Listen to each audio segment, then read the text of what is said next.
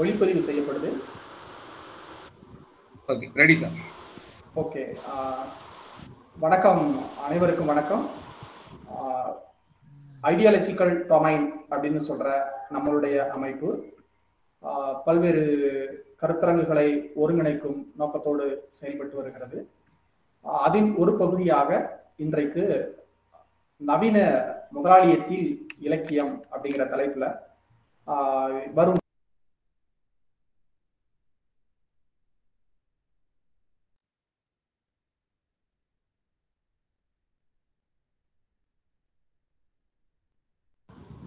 Audio audio cut ஆயிருக்கு sir அனைவருக்கும் வணக்கம். ஐடியாலஜிக்கல் டொமைன் அப்படிங்கிற ஒரு கருத்தியல் தளத்தில் இருந்து கொண்டு பல்வேறு செய்திகளை நாம் கலந்துரையாடலாம் என்ற அடிப்படையில் இந்த நிகழ்வுகளை நாம் ஒருங்கிணைத்து வந்து கொண்டிருக்கிறோம்.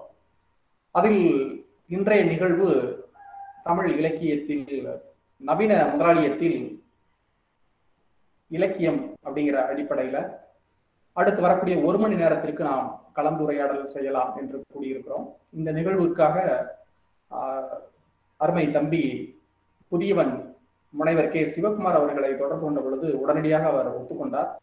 அவருக்கு இந்த நேரத்தில் நான் பெரிய நன்றியை சொல்லிக் கொள்ள வேண்டும். இந்த நிகழ்வை நாம் முறைப்படி தொடங்க இருக்கிறோம். அனைவருக்கும் இந்த நிகழ்வில் இணைந்திருக்கக்கூடிய அனைவருக்கும் இனிமேல் இணைய போகிற அனைவருக்கும் என்னுடைய அன்பையும் நன்றியையும் வணக்கத்தையும் தெரிவித்துக் கொள்கிறேன்.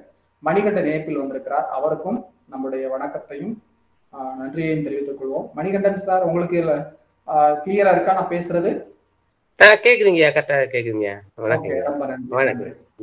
நன்றி. நிகழ்வை முறைப்படி வரவேற்புரையோடு தொடங்க இருக்கிறோம். அதற்காக ஆஹ், சென்னையில் மாநில கல்லூரியில் சங்க செவியல் இலக்கியங்களில் விளிம்பு நிலை மனிதர்கள் என்கிற பொருண்மையில் ஆய்வு செய்து முனைவர் பட்ட ஆய்வை முடித்து இப்பொழுது வைவாவிற்காக காத்துக் கொண்டிருக்கிறவர் நம்முடைய அருமை தோழியார் உஷா அவர்கள். அவர்களை இப்பொழுது வரவேற்புரையாற்றிட அன்போடு அழைக்கிறேன்.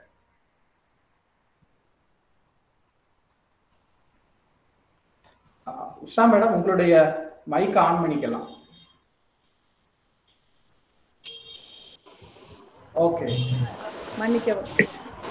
அனைவருக்கும் இனிய மாலை வணக்கம். வாழ்க வளமுடன். பொறுப்பிலே பிறந்து தென்னன் புகழிலே கிடந்து சங்க திருப்பிலே இருந்து வைகை ஏட்டிலே தவழ்ந்து நெருப்பிலே பயின்ற பாவையாம் அகத்தியனின் அமுதமொழியாம் என் தாய்மொழியாம் தமிழால் அவையோர் அனைவரையும் வணங்குகின்றேன். இயல் இசை நாடகம் என்ற முத்தமிழ் மு- முத்தமிழுக்கும் முத்தாய்ப்பாய் சங்கம் வைத்து தமிழ் வளர்த்த மண்ணில் கருத்தியல் களம் அமைத்து தற்போது இக்கருத்தரங்கினை ஒருங்கிணைத்துக் கொண்டிருக்கும். ஆனந்தர் கல்லூரி பேராசிரியர் முனைவர் திரு நா. குருசாமி ஐயா அவர்களை இம்மாலை வேளையிலே மனதார வரவேற்கின்றேன். இவ்விணைய இருக்கையில் அமர்ந்திருக்கும் உங்கள் அனைவரையும் இருகரம் கூப்பி வருக வருக என வரவேற்கின்றேன். நீரளவே ஆகுமாம் நீராம்பல். தான் கற்ற நூல் அளவே ஆகுமாம் நுண்ணறிவு என்பதற்கிணங்க கதை முதல் வாதம் துவங்கி அறிவெனும் பெரும் பசியை உணர்த்தி இலக்கிய அறிவியலை நம்முள் புகுத்தி ஆதித்தாயின் வாயிலாக தமிழ் புதினங்களை உருவாக்கிய நாயகன் புதியவன் ஐயா திரு கே. சிவகுமார் அவர்களை வருக வருக என வரவேற்கின்றேன். நன்றியுரை நல்க இருக்கும் சகோதரர் தா. ராகேஷ் அவர்களையும் வருக வருக என மகிழ்ச்சியுடன் வரவேற்கின்றேன். நவீன முதலாளியத்தின் இலக்கியம் எனும் பொருண்மையின் கீழ் சிறப்புரை ஆற்ற வந்துள்ள புதியவன் திரு கே. குமார் ஐயா அவர்களை மீண்டும் ஒரு முறை புன்னகையும் புத்துணர்ச்சியும் நிறைந்த இவ்விணைய அவையில் பொழிப்புரை ஆற்றுமாறு இடம் அமர்த்தி விடைபெறுகின்றேன். தமிழ் போல் வளர்வோம். நன்றி வணக்கம். அருமை தோழர் அவர்களுக்கு நன்றி. தொடர்ந்து இப்பொழுது நம்முடைய பொழிவாளர்களுக்கான நேரம். இன்றைய நிகழ்வை நவீன முதலாளியத்தில் இலக்கியம் என்கிற பொறுமையில் நம்முடைய கருத்துக்களை முனைவர் புதியவன் கே. சிவகுமார் அவர்கள் நம்மோடு பகிர்ந்து கொள்ள இருக்கிறார் மிகச்சிறந்த அறிவு குலத்தில் செயல்பட்டுக் கொண்டிருக்கிறவர். ஆஹ் தமிழகத்தின் மிக முக்கியமான பேராசிரியர்களிடம் பயின்றவர் முனைவர் பட்ட ஆய்வை செய்தவர் இளநிலை ஆய்வாளராக ஆய்வை முன்னெடுத்தவர். பண்பாடு குறித்து மாண்டவியல் குறித்து மார்க்சியம் குறித்து சமூக விஞ்ஞானம் குறித்து தொடர்ச்சியாக எழுதியும் பேசிக் கொண்டும் இருக்கிறவர். இடைவிடாத முயற்சிகளுக்கு சொந்தக்காரர் அருமை தம்பி கே. சிவகுமார் அவர்களை இன்றைய நிகழ்வில் நம்முடைய கருத்துக்களை பகிர்ந்து கொள்ள அன்போடு அழைக்கிறேன்.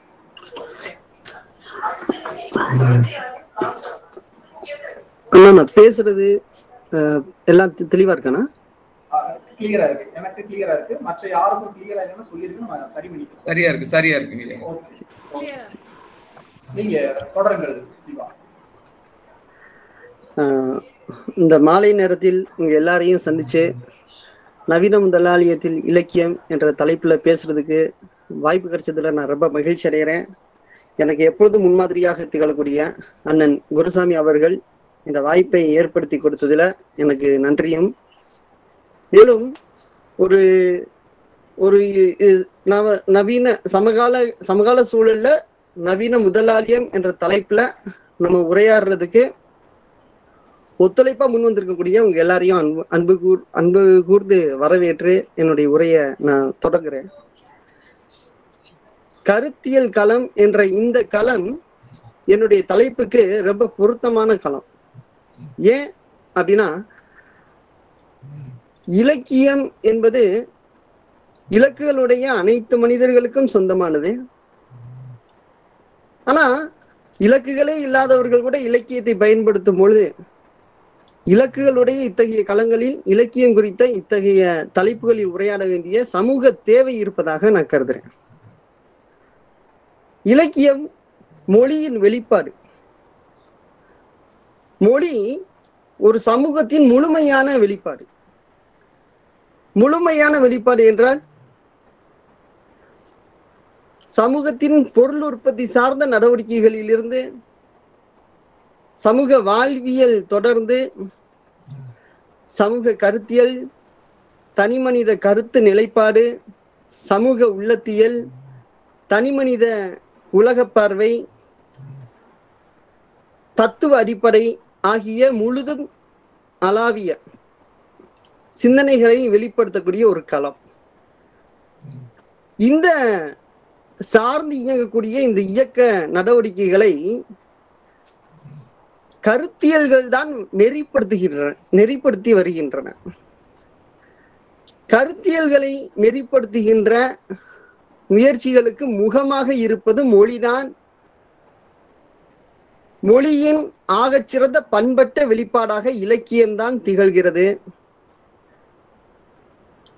இந்த இலக்கியத்தின் மொழியானது வெறும் சமூக பொருள் உற்பத்தி சார்ந்த நடவடிக்கைகளின் கருவியாக மட்டும் இல்லை மாறாக கடந்த காலத்தின் சித்திரங்களாகவும் நிகழ்காலத்தின் நிழல்களாகவும் வருங்காலத்தின் கனவுகளாகவும்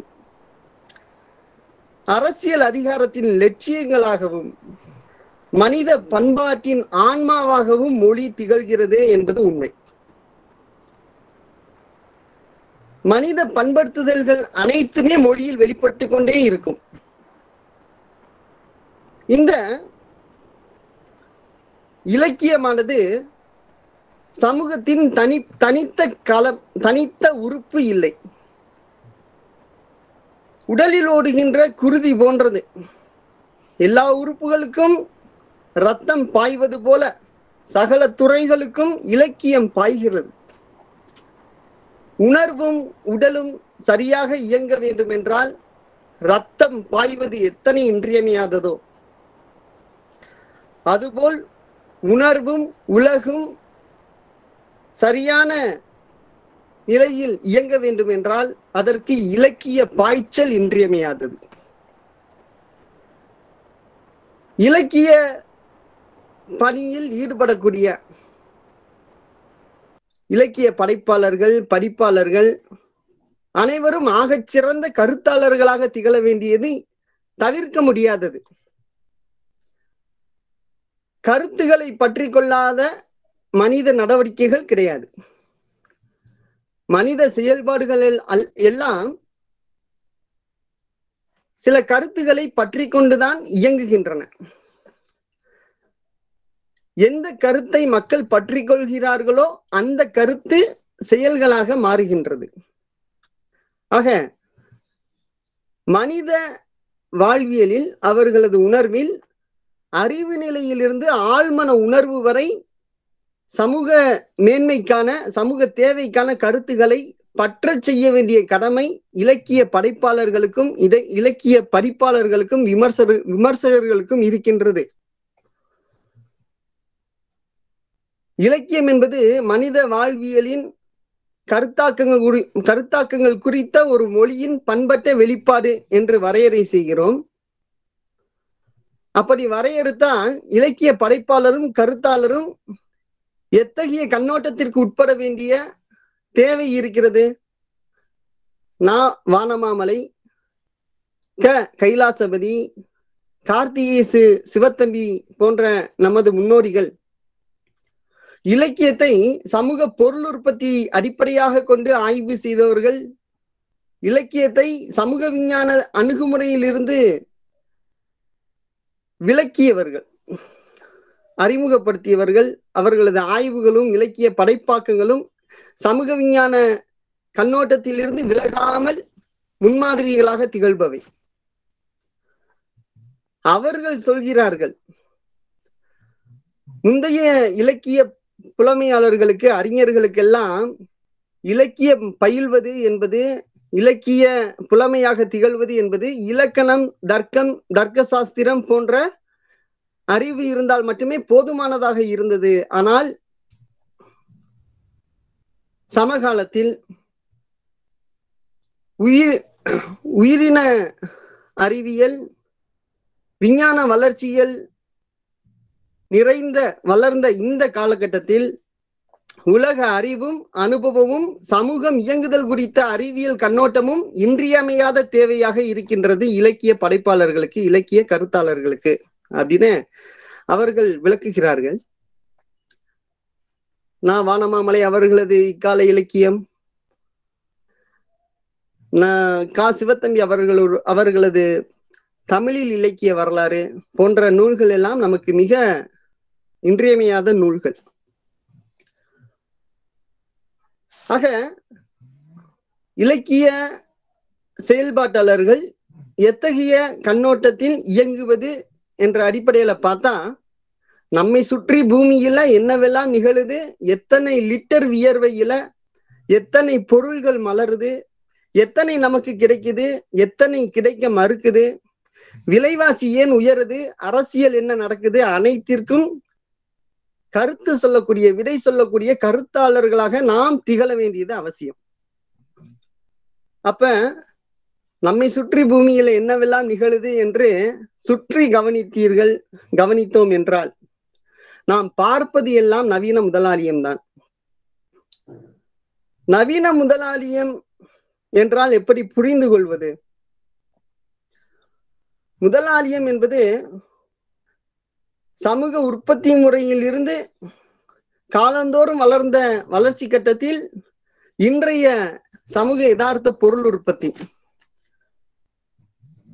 ஆஹ் நம்முடைய வாழ்க்கை சூழலை கவனிங்க.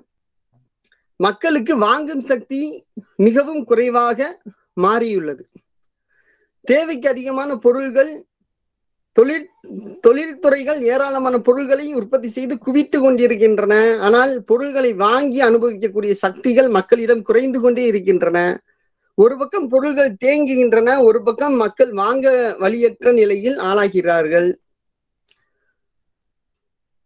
மக்களது உடல் ஆரோக்கியம் உள்ள ஆரோக்கியம் என்பதெல்லாம் மிகவும் மோசமான நிலையில் மாறி இருக்கிறது ஒரு நாலு நாளைக்கு முன்னாடி வந்த செய்தி தினகரன் செய்தின்னு நினைக்கிறேன். அதுல தற்கொலைகள் எந்த இது சமகாலத்துல எந்த அளவுக்கு தற்கொலைகள் அதிகமாயிருக்குது? என்னென்ன காரணங்களால எல்லாம் ம- தற்கொலைக்கு மக்கள் தள்ளப்பட்டிருக்காங்கிற செய்தி. குடும்ப பிரச்சனை வேலை இல்லாத பிரச்சனை தான் நினைத்தபடி ஆள ஆளாக வழி இல்லாத பிரச்சனை இப்படி ஏராளமான பிரச்சனைகளை அடுக்குறாங்க. ஆக வாழும் சூழல் எந்த அளவிற்கு வாழ தகுதியற்ற நிலைக்கு மாறி இருக்கு என்பதை கவனிக்கணும். பொருளாதார பண்பாடு அரசியல் அனைத்திலும் நாம் காணக்கூடிய பிரச்சனைகள் அனைத்தும் இந்த முதலாளியத்தின் வெளிப்பாடு தான் நவீன முதலாளியத்தின் வெளிப்பாடு தான் சமூகத்தில் அரவணை அரவணைப்பு இல்லாத நிலைமை பிள்ளைகளால் கைவிடப்பட்ட முதியோர்கள் எண்ணிக்கை கூடிக்கிட்டே இருக்கான் இப்ப உணவு உடை இருப்பிடம் சார்ந்த தேவைகள் எல்லாம் மக்களுக்கு லட்சியங்களாக இருக்கின்றன. தேவையை நிறைவேற்றி கொள்ள முடியாத நிலைமை இருக்கு. கல்வி இன்னைக்கு வியாபாரமா இருக்கு.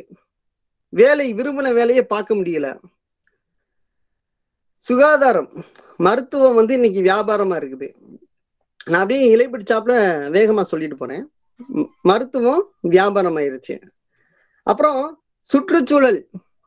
சுற்றுச்சூழல் வந்து இன்னைக்கு வா மனிதர்கள் வாழ தகுதி இல்லாத நிலை என்பது அல்ல மாறாக உயிரினங்களினுடைய வாழ்க்கையே இனிமே மோசமான நிலைக்கு போகுது. பருவ காலங்கள் ரொம்ப வேகமா மாறிக்கிட்டு இருக்குது. பூமி வெப்பமயமாயிருக்குது. புவி வெப்பமயத்தில் வெப்பமயமானதுனால வரக்கூடிய பிரச்சனைகளை சமாளிக்க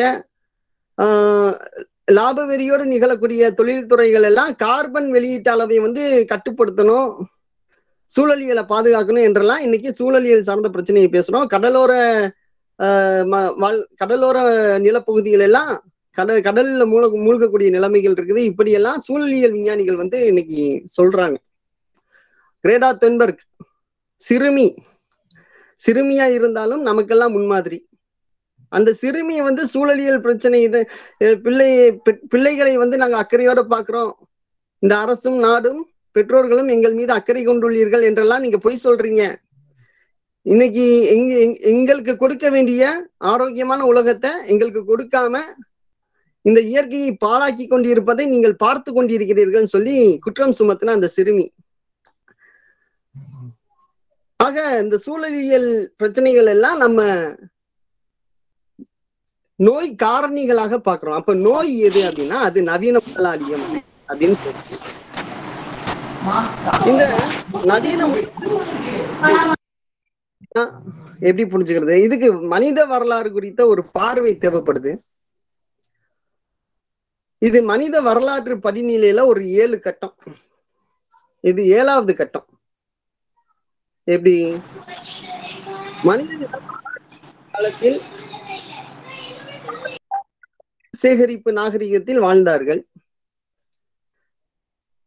அப்ப வேட்டையாடுவதற்கான கருவிகள் எல்லாம் கிடையாது.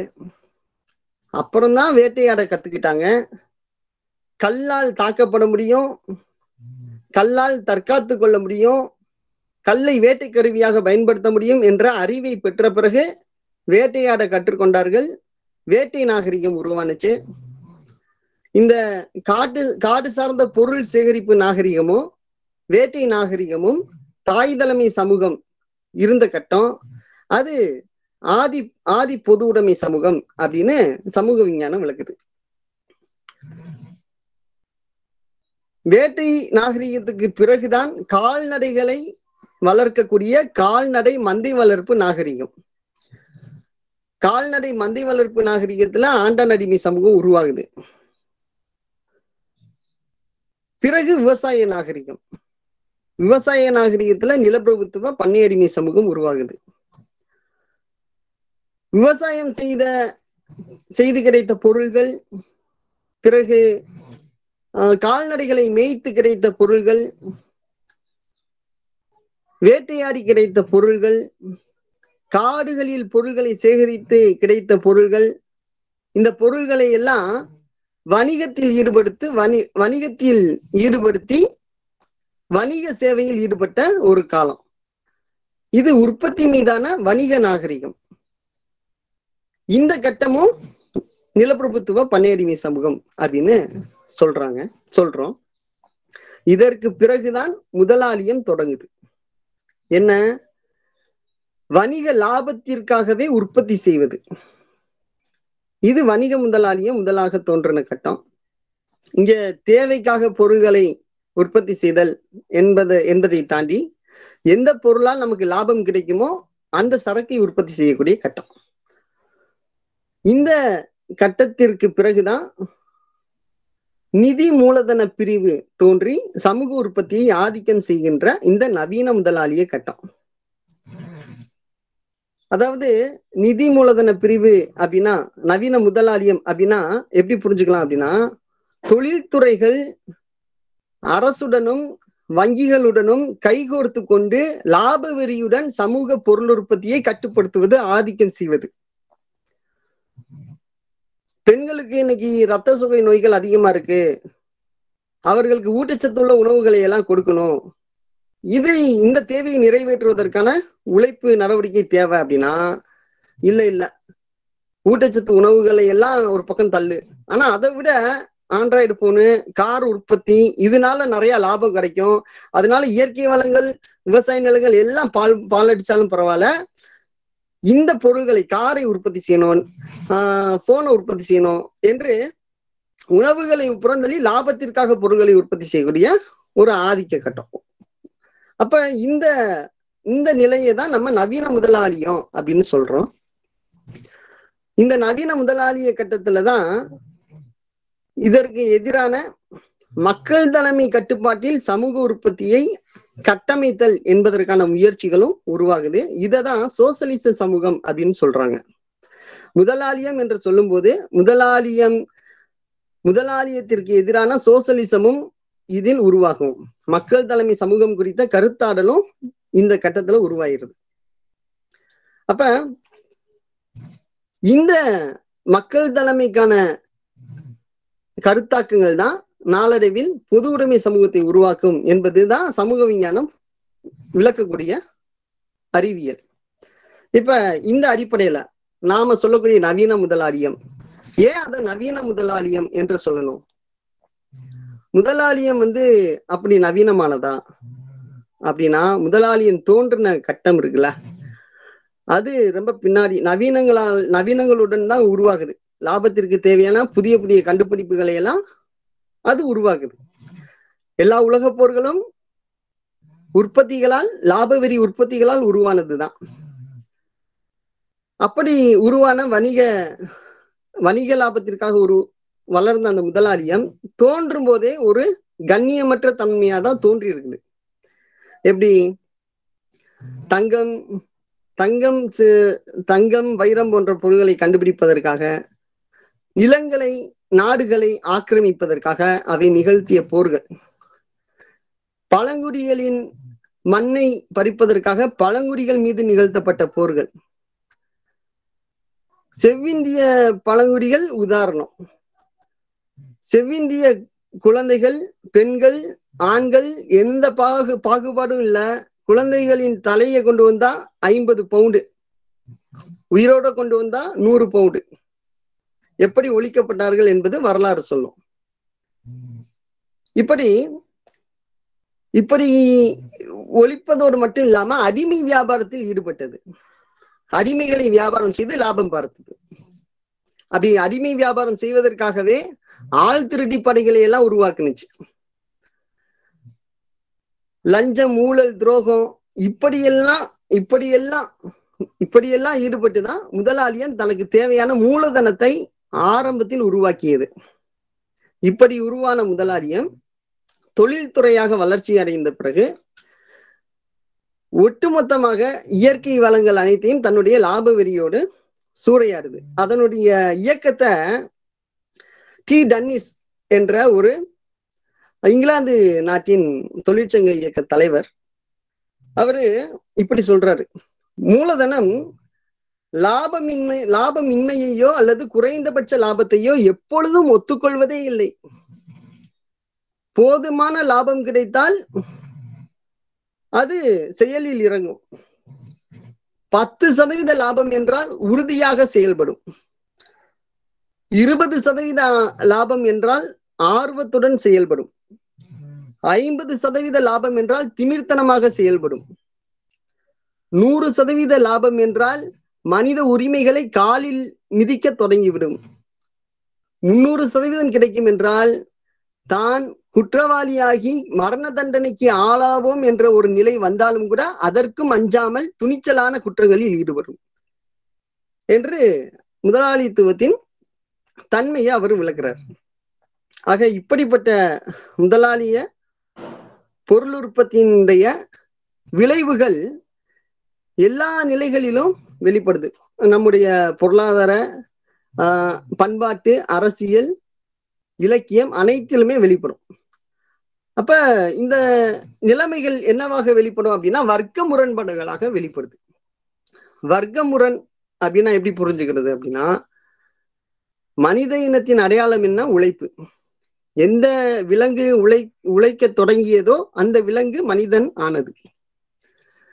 எல்லா உயிரினங்களும் இயற்கைக்கு இயற்கைக்கு ஏற்றபடி தங்களை மாற்றிக்கொண்டு இருந்த பொழுது இயற்கைக்கு எதிராக தங்களுக்கு வசதியாக இயற்கையை மாற்றத் தொடங்கிய ஒரே உயிரினம் மனித இனம்தான்.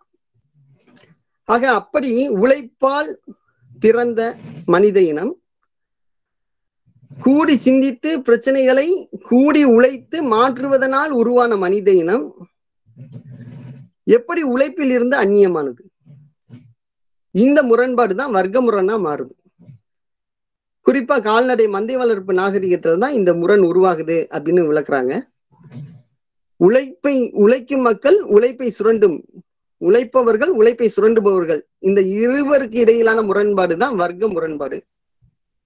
இந்த முரண்பாடு ஆஹ் ஆண்டான் அடிமை சமூகத்துல ஆண்டானுக்கும் அடிமைகளுக்கும் இடையிலான முரண்பாடு. நிலப்பிரபுத்துவ சமூக சமூகத்துல பண்ணை ஆதிக்கத்திற்கும் பண்ணை அடிமைகளுக்கும் இடையிலான முரண்பாடு. முதலாளித்துவ சமூகத்துல முதலாளிகளுக்கும் உழைக்கும் மக்களுக்கும் இடையிலான முரண்பாடு. இந்த இரண்டு வர்க்கங்கள் எல்லா சூழலிலும் தங்களுடைய வாழ்வியலை வெளிப்படுத்தி கொண்டே இருக்கும். அது தன்னுடைய மொழியானாலும் சரி பண்பாடு ஆனாலும் சரி எல்லாவற்றிலும் தங்களை வெளிப்படுத்தி கொண்டே இருக்கும். அப்ப நவீன முதலாளியத்தில் இலக்கியம் என்று சொல்லும் பொழுது முதலாளியத்தின் கூறுகளும் உழைக்கும் மக்களுக்கான கூறுகளையும் நாம் புரிந்து கொண்டு அவற்றிலிருந்து நாம் இலக்கிய அணுகுமுறையை கையாள்வது அவசியமாகுது. பணம் பிறக்கும் இடத்துல தான் வறுமையும் பிறந்திருக்கு. ஆக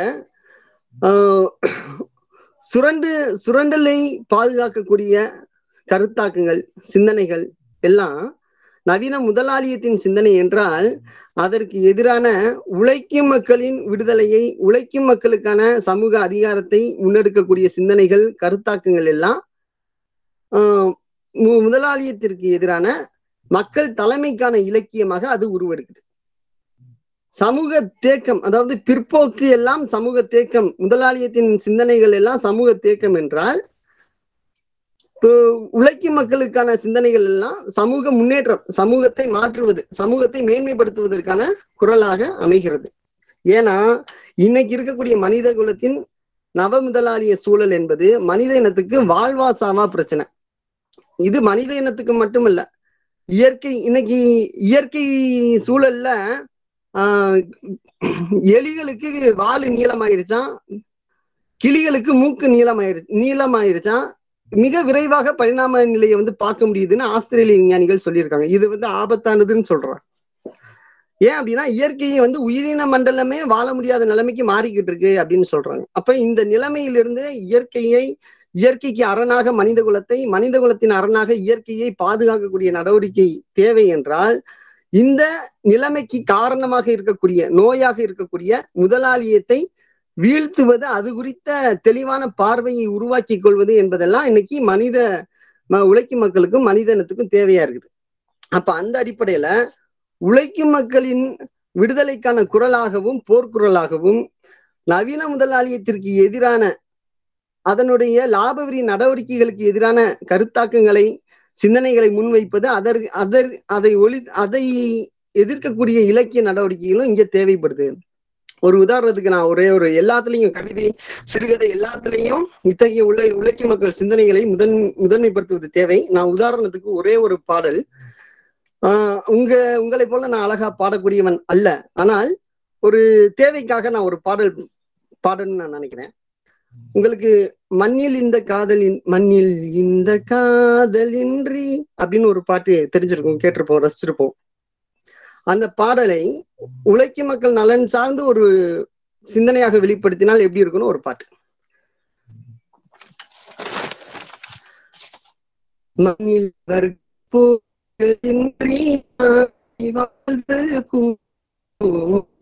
வர்ணம் நாடு வசந்தம் பாடுமோ? ஆண்மையின்றி மண்ணில் வன்மம் ஏதடா? வன்மம் நீங்கி அறிவில் இன்பம் காணடா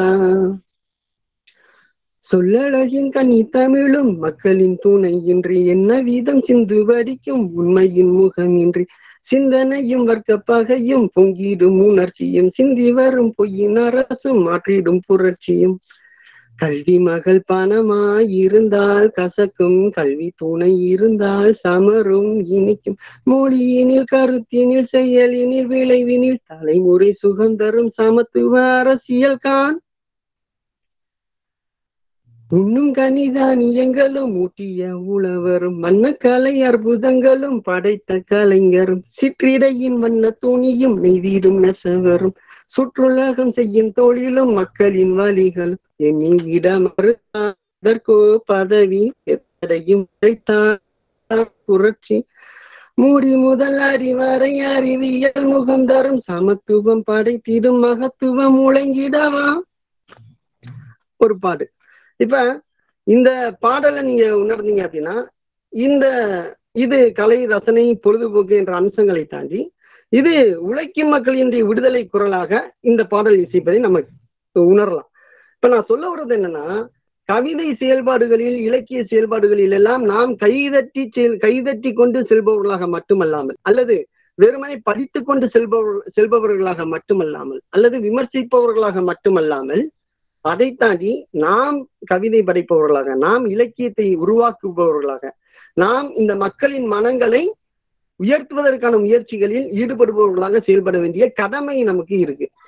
தாமரையின் அழகு நீர்மட்டத்தின் உயரம் என்றால் மனித குலத்தின் அழகு இலக்கிய மட்டத்தின் உயரம். அந்த மட்டத்தை தொடுவது நம் நம்மை சிந்தனைகளுக்கு சவாலானதா இருக்கலாம். ஆனா அந்த சவால்களை எல்லாம் தாண்டி மனித இனம் வாழ்வா சாவா பிரச்சனையில் இருக்கும் பொழுது இந்த நவீன முதலாளியத்தை வீழ்த்த வேண்டிய பொறுப்பு நமக்கு இருக்கு. இலக்கியம் நாம் படைக்கக்கூடிய நாம் விவாதிக்கக்கூடிய இலக்கிய முயற்சிகள் எல்லாம் நவீன முதலாளியத்தின் பே சமக்குழியில் காணும் பேரிருளாகவும் மனித குலத்திற்கு விடியல் கால விடு விடியல் காலை பொழுதின் வெளிச்சமாகவும் திகழ வேண்டும் என்று கூறி சரியான நேரத்துல முடிச்சேனான்னு தெரியல மேலும் நீங்க விவாதிக்க முன் வரும்போது நானும் பேசுறேன். நன்றி.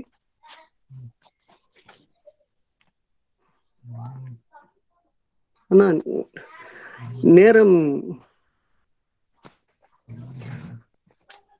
ஐயா நேரம் இருக்கு. நீங்க பேசலாம். இன்னும் எவ்வளவு நேரம் இருக்கு? இன்னும் பதினைந்து நிமிஷங்கள் மேல எடுத்துக்கலாம் ஐயா. நிமிடத்துக்கு மேல எடுத்துக்கலாம். சரி ஓகே நல்லது. ஆமாங்க. இலக்கியம் இலக்கியத்தை வந்து நாம மனிதர்களது வாழ்வியல் கருத்தாக்கங்கள் குறித்த ஒரு மொழியின் பண்பட்ட வெளிப்பாடு அப்படின்னு சொல்றோம். இந்த இலக்கியம் மூன்று நிலைப்படுது. ஒன்று வரலாற்று நிலையில் நாம் இலக்கியத்தை புரிஞ்சுக்கணும்.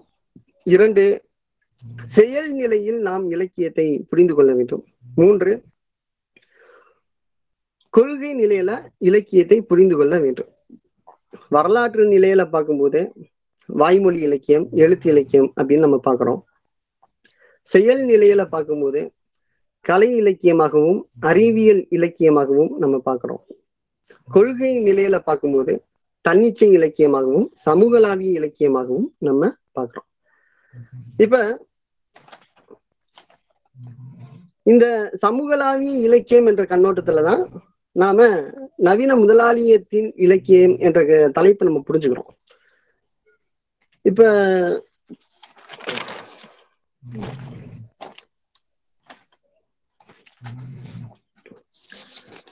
இப்ப நான் இந்த நவீன முதலாளியம் என்ற சொல்ல வந்து நம்ம ஏகாதிபத்தியம் என்பதாகவும் நம்ம விளக்க முடியும். ஏன் அப்படின்னா இந்த முதலாளியம் எதை புதுமையாக செய்தது என்றால் கூட இருப்பவர்களை ஒழித்து கட்டுவது. இப்ப முதலாளியம் வந்து என்ன சொல்லுச்சு? நிலப்பிரபுத்துவ காலகட்டத்துல புதிய சிந்தனையாக உருவெடுத்த போது பிரெஞ்சு புரட்சி காலத்துல அது என்ன சொல்லுது? என்ன கோரிக்கை என்ன கொள்கைகளை முன்வைத்தது அப்படின்னா சுதந்திரம் சமத்துவம் சகோதரத்துவம். யாரும் யாருக்கும் அடிமையா இருக்க தேவையில்ல. நம்ம எல்லாரும் சகோதரர்கள் தான் நாம சுதந்திரமானவர்களாக இருக்கணும். நீங்க சுதந்திரமா உழைங்க. பண்ணை அடிமையா இருக்க வேண்டிய அவசியம் இல்லை என்று சொல்லி இந்த கொள்கையில் இந்த கொள்கையின் பார்ப்பட்டு மக்களை திரட்டியது. தங்களுடைய ஆலைகளில் தொழிற்சாலைகளில் எல்லாம் கூலி தொழிலாளர்களாக நியமித்தது. இப்படி உருவான முதலாளியம் சுதந்திரமான போட்டியை முன்னெடுத்தது. முதலாளிகள் சுதந்திரமாக போட்டியிட்டார்கள். ஆஹ் ஒரு நிறுவனம் ஒரு நிறுவனத்துக்கு போட்டியா எத்தனை நிறுவனங்கள் வேணாலும் உருவாக்கலாம். ஆனா இன்னைக்கு இந்த நிலைமை எப்படி மாறி இருக்குது? இன்னைக்கு போட்டி வந்து ஆஹ் அஞ்சு லட்சம் இல்ல அஞ்சு கோடி இல்ல ஐம்பது கோடி இல்ல ஐநூறு கோடி ஐயாயிரம் கோடி லட்சம் கோடி முதலீடு செய்து உற்பத்தியில் ஈடுபடக்கூடிய நிறுவனங்களுக்கு இடையில தான் இன்னைக்கு போட்டி. அப்படி போட்டியிடக்கூடிய இந்த இந்த இந்த லாபவரி நிறுவனங்கள் என்ன செய்யும் அப்படின்னா கூட இருக்கக்கூடிய முதலாளிகளே காலி பண்ணும். முதலாளி முதலாளி ஏகபோகம் எனக்கு தான். நான் மட்டும்தான் இந்த சந்தையை முழுவதுமாக நான் மட்டும்தான் ஆக்கிரமிக்கணும் என்ற ஒரு ஒரு போட்டியில இது ஈடுபடுது. அப்ப இந்த லாப வரியில் இது என்ன செய்யுது அப்படின்னா மனித இனத்தினுடைய தேவைகள் அனைத்தையுமே புறந்தள்ளி விட்டு தன்னுடைய லாப வெறியின் தேவைகளை முதன்மைப்படுத்துது. என்ன செய்யுது இப்ப மனிதர்களுக்கு நம்ம இப்ப இலக்கியம் படைக்கிறோம் இலக்கியம் படிக்கிறோம் அப்படின்னா இலக்கியத்தின் மூலமாக நாம் சில க- நாம் சில உணர்வுகளை வந்து வளப்படுத்துறோம். இப்ப அறிவியல் இலக்கியம்னா என்ன செய்யுது நேரடியாக சில ஆய்வுகளை சில கருத்துக்களை துல்லியமாக முன்வைக்குது. புலனறிவுக்கு உணர்த்தும்படியான முயற்சிகளில் ஈடுபடுது. அறிவியல் இலக்கியம். நம்ம செய்யக்கூடிய ஆய்வுகள் எல்லாம் அதுதான். முனைவர் பட்ட ஆய்வுகள் எல்லாம் அதுதான். அதுல க- கலையை தாண்டி துல்லியமான புலனறிவுக்கு புலப்படுத்தக்கூடிய உண்மைகளை முன்வைப்பதுதான் அதனுடைய நோக்கம். கலை இலக்கியம் என்ன செய்யும்? அது ஆழ்மன உணர்வுகளோட பேசும். அது மனித உணர்வு நிலையில் சில கருத்துக்களை விதைக்கும். அப்ப ஆஹ் அப்- அப்படி நம்ம அப்படி நம்ம ஆரோக்கியமான கருத்துக்களை விதைக்க வேண்டும் என்றால் ஆரோக்கியமான மனித வாழ்க்கை இருக்கணும்ல. இப்ப இந்த நவீன முதலாளியம் என்ன செய்யுது அப்படின்னா மனித சமூகத்தின் ஆரோக்கியத்தை முற்றிலும் சிதைக்குது. எப்படி? இப்ப என்ன மாதிரியான ஆரோக்கியம் ஆரோக்கியங்கள்னு பட்டியலிட்டு பார்த்தீங்கன்னா அரவணைப்பு என்பது முதன்மையானது. ஆஹ் ஹார்லி அவங்க ஹார்லி ஹார்லோ அவங்களுடைய ஆய்வுல தான் சொல்றாங்க. மனித மனிதர்களுக்கு உணவு போன்ற பொருள்களை தாண்டி நான் நான் உன்னை பாதுகாக்க நான் இருக்கிறேன் என்ற அரவணைப்பு தான் முக்கியம். இதுக்கு அவங்க ஒரு குரங்க ஆய்வுக்கு எடுத்துக்கிட்டாங்க.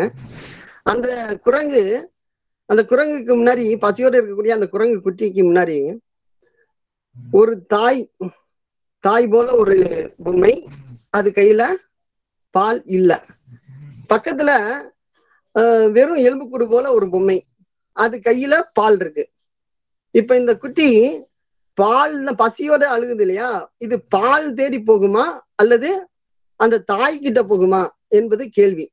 எல்லாரும் பாலுக்காக அது தே போக போகுது பால் தான் தேடி போக போகுதுன்னு கருதுனாங்க. ஆனா என்ன நடந்துச்சுன்னா அது தன்னுடைய தாயை அரவணைத்து கொண்டு தாய் கிட்ட தாயினுடைய அரவணைப்பை பற்றி கொண்டு பக்கத்துல பாலை குடிச்சிட்டு திரும்பவும் தாய்கிட்டே போகுது. இதை வச்சு என்ன சொல்றாங்கன்னா அதனுடைய ஆழ்மன உணர்வு எல்லாம் அரவணைப்பை தான் தேடுது. அரவணைப்பு இல்லை என்றால் மனித இனம் வந்து ஆரோக்கியமா வளர முடியாது. அப்ப அரவணைப்பு இன்றியமையாது இன்னைக்கு அரவணைப்பு இருக்குதா? இன்னைக்கு ஆஹ், மனிதர்களை மனிதர்கள் வந்து என்னை யாரும் கைவிட்டுற மாட்டாங்க. நான் பாதுகாப்பாக இருக்கிறேன் என்ற மனநிலை இருக்குதா அப்படின்னு கேட்டா இன்னைக்கு அப்படி இல்லை என்பது யதார்த்தம். நகரங்களில் கூட்டம் கூட்டமாக சேர்ந்து இருந்தாலும் மனித மனங்கள் எல்லாம் தனித்தனி தீவுகளாக இருக்கின்றன இருக்கின்றது. அப்புறம் இந்த உணவு உடை இருப்பிடம் சார்ந்த பிரச்சனைகளை பார்த்தீங்கன்னா உணவு எல்லாம் தேவைக்கு உண்பது உணவு பசிக்கு உண்பது இல்லை. இன்னைக்கு என்ன நுகர்வு வெறி எல்லாமே நுகர்வு மயமாகி இருக்கு. ஆஹ் ஆசைப்பட்டதை எல்லாம் சாப்பிடுறது கண்டதை சாப்பிட்டு கண்டதை கழிந்து வாழ்வது. இதுல வந்து நமக்கு ஆரோக்கியத்தை ஆரோக்கியத்தை விட்டுட்டு சாப்பிட்றது இருக்குல்ல. அதனால ஏகப்பட்ட நோய்கள் ஆஹ் சிவராமனுடைய உரைகள்லாம் கேட்டோம்னா இது உ- உணவு வன்முறை வணிக வன்முறையில உணவு வன்முறை ரொம்ப முக்கியமானதுன்னு சொல்லி அவர் விளக்குறத நம்ம பார்க்க முடியும். ஆஹ் நம்மளுடைய பாரம்பரியத்துக்கு மாறுபட்ட உணவுகள் எல்லாம் எப்படி நம்முடைய ஆரோக்கியத்தை கெடுத்தன எப்படி புது வகையான நோய்கள் எல்லாம் நம்ம நம்மை ஆக்கிரமித்திருக்கின்றன என்பதை புரிஞ்சு புரிஞ்சுக்க முடியுது. ஆஹ் அந்த நோய்களை பணம் கொடுத்து மருத்துவம் செய்து தீர்த்து கொள்ளக்கூடிய நிலையிலும் இன்னைக்கு மக்கள் இல்லை.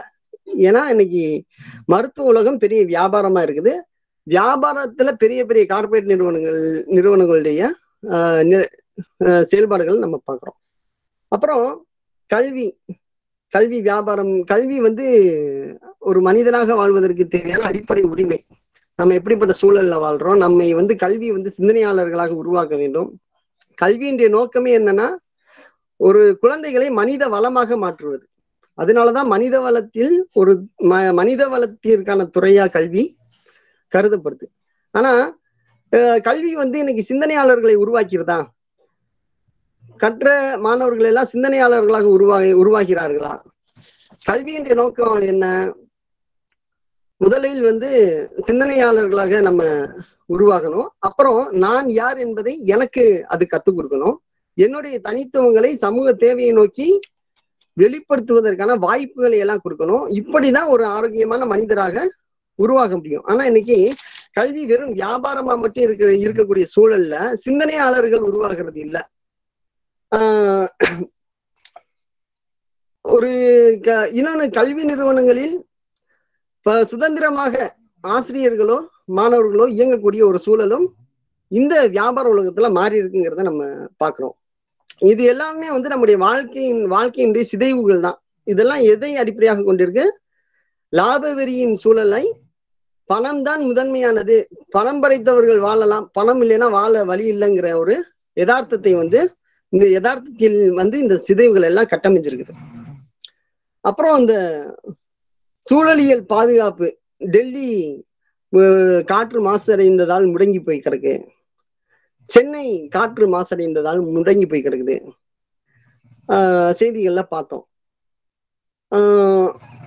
சென்னை வந்து டெட்ரோ சிட்டி அது ஏராளமான கார்களை உற்பத்தி செய்து ஏற்றுமதி செய்யக்கூடிய நிறுவனங்கள் இங்கே நிறைய இருக்கு. இப்படிப்பட்ட இடங்களில் வந்து லாபவெறி நிறுவனங்களுக்கு தேவையான உற்பத்தியை நிகழ்த்துறதுனால சூழலியல் மிகவும் மோசமாகிட்டு இருக்கு. காற்று வந்து மோசமாகுது. அதே மாதிரி நீர்வளம் முக்கியமா. நீர்வளங்கள்ல மீன்கள் எல்லாம் செத்து மெ மிதக்குதுங்களாம்.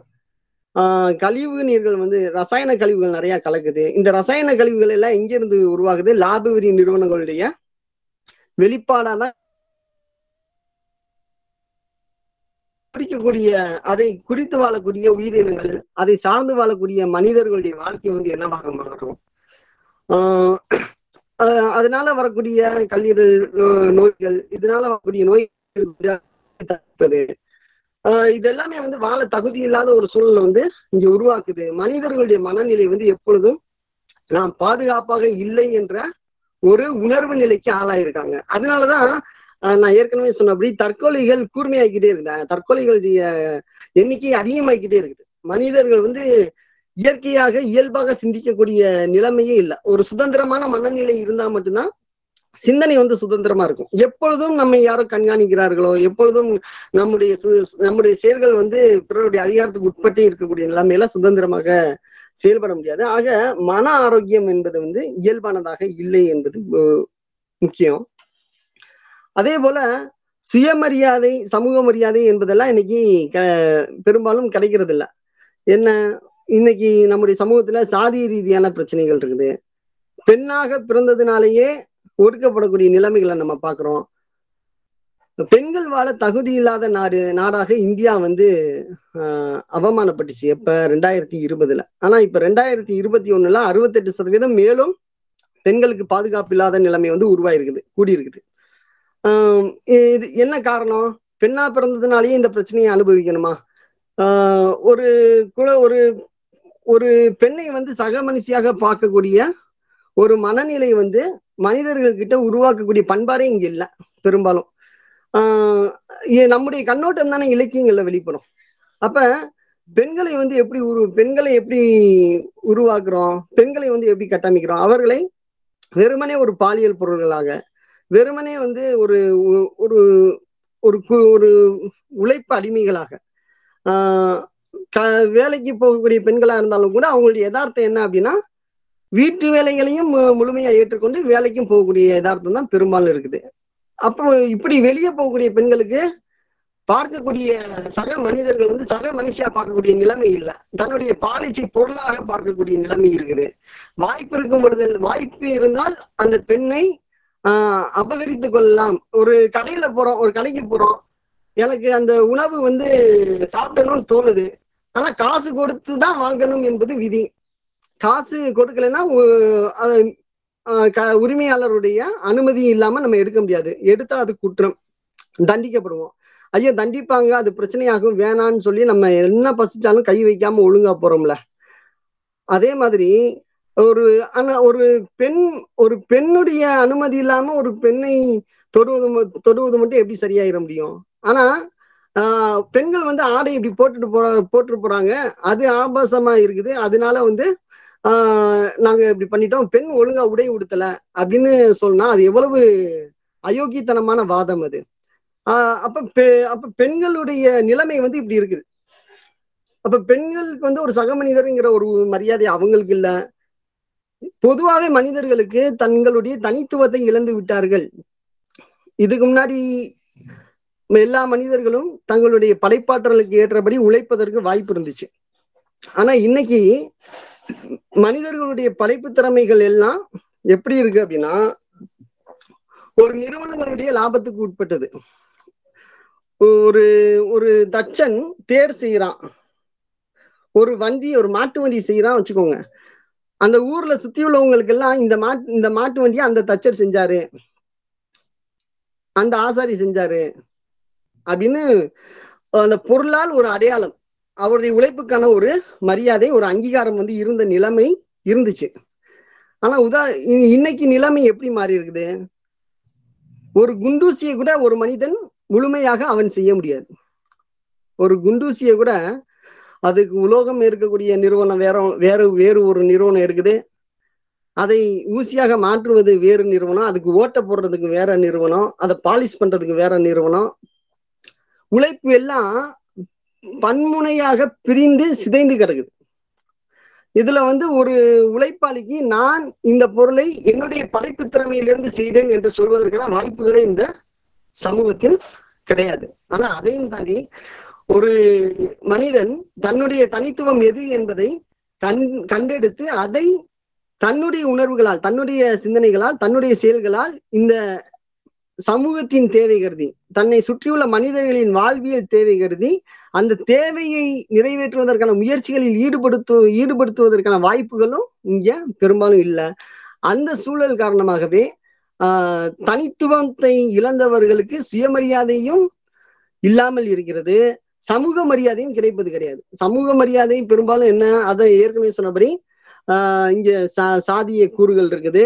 ஆஹ் ஆஹ் என்ன வர்க்க நிலையில எவ்வளவு சொத்து வச்சிருப்பாரு? அவருடைய வசதி வாய்ப்புகள் என்ன? என்பதையெல்லாம் சார்ந்து ஒரு சமூக மரியாதை இருக்குமே தவிர மனிதர் என்பதனாலேயே அவரை மதிக்கக்கூடிய ஒரு பண்பாடு பெரும்பாலும் அருகிவிட்டது. இந்த லாபவரி நிறுவனங்களுடைய சூழல்ல ஐடி நிறுவனங்கள் ஒரு உதாரணத்துக்கு சொல்றாங்கல்ல.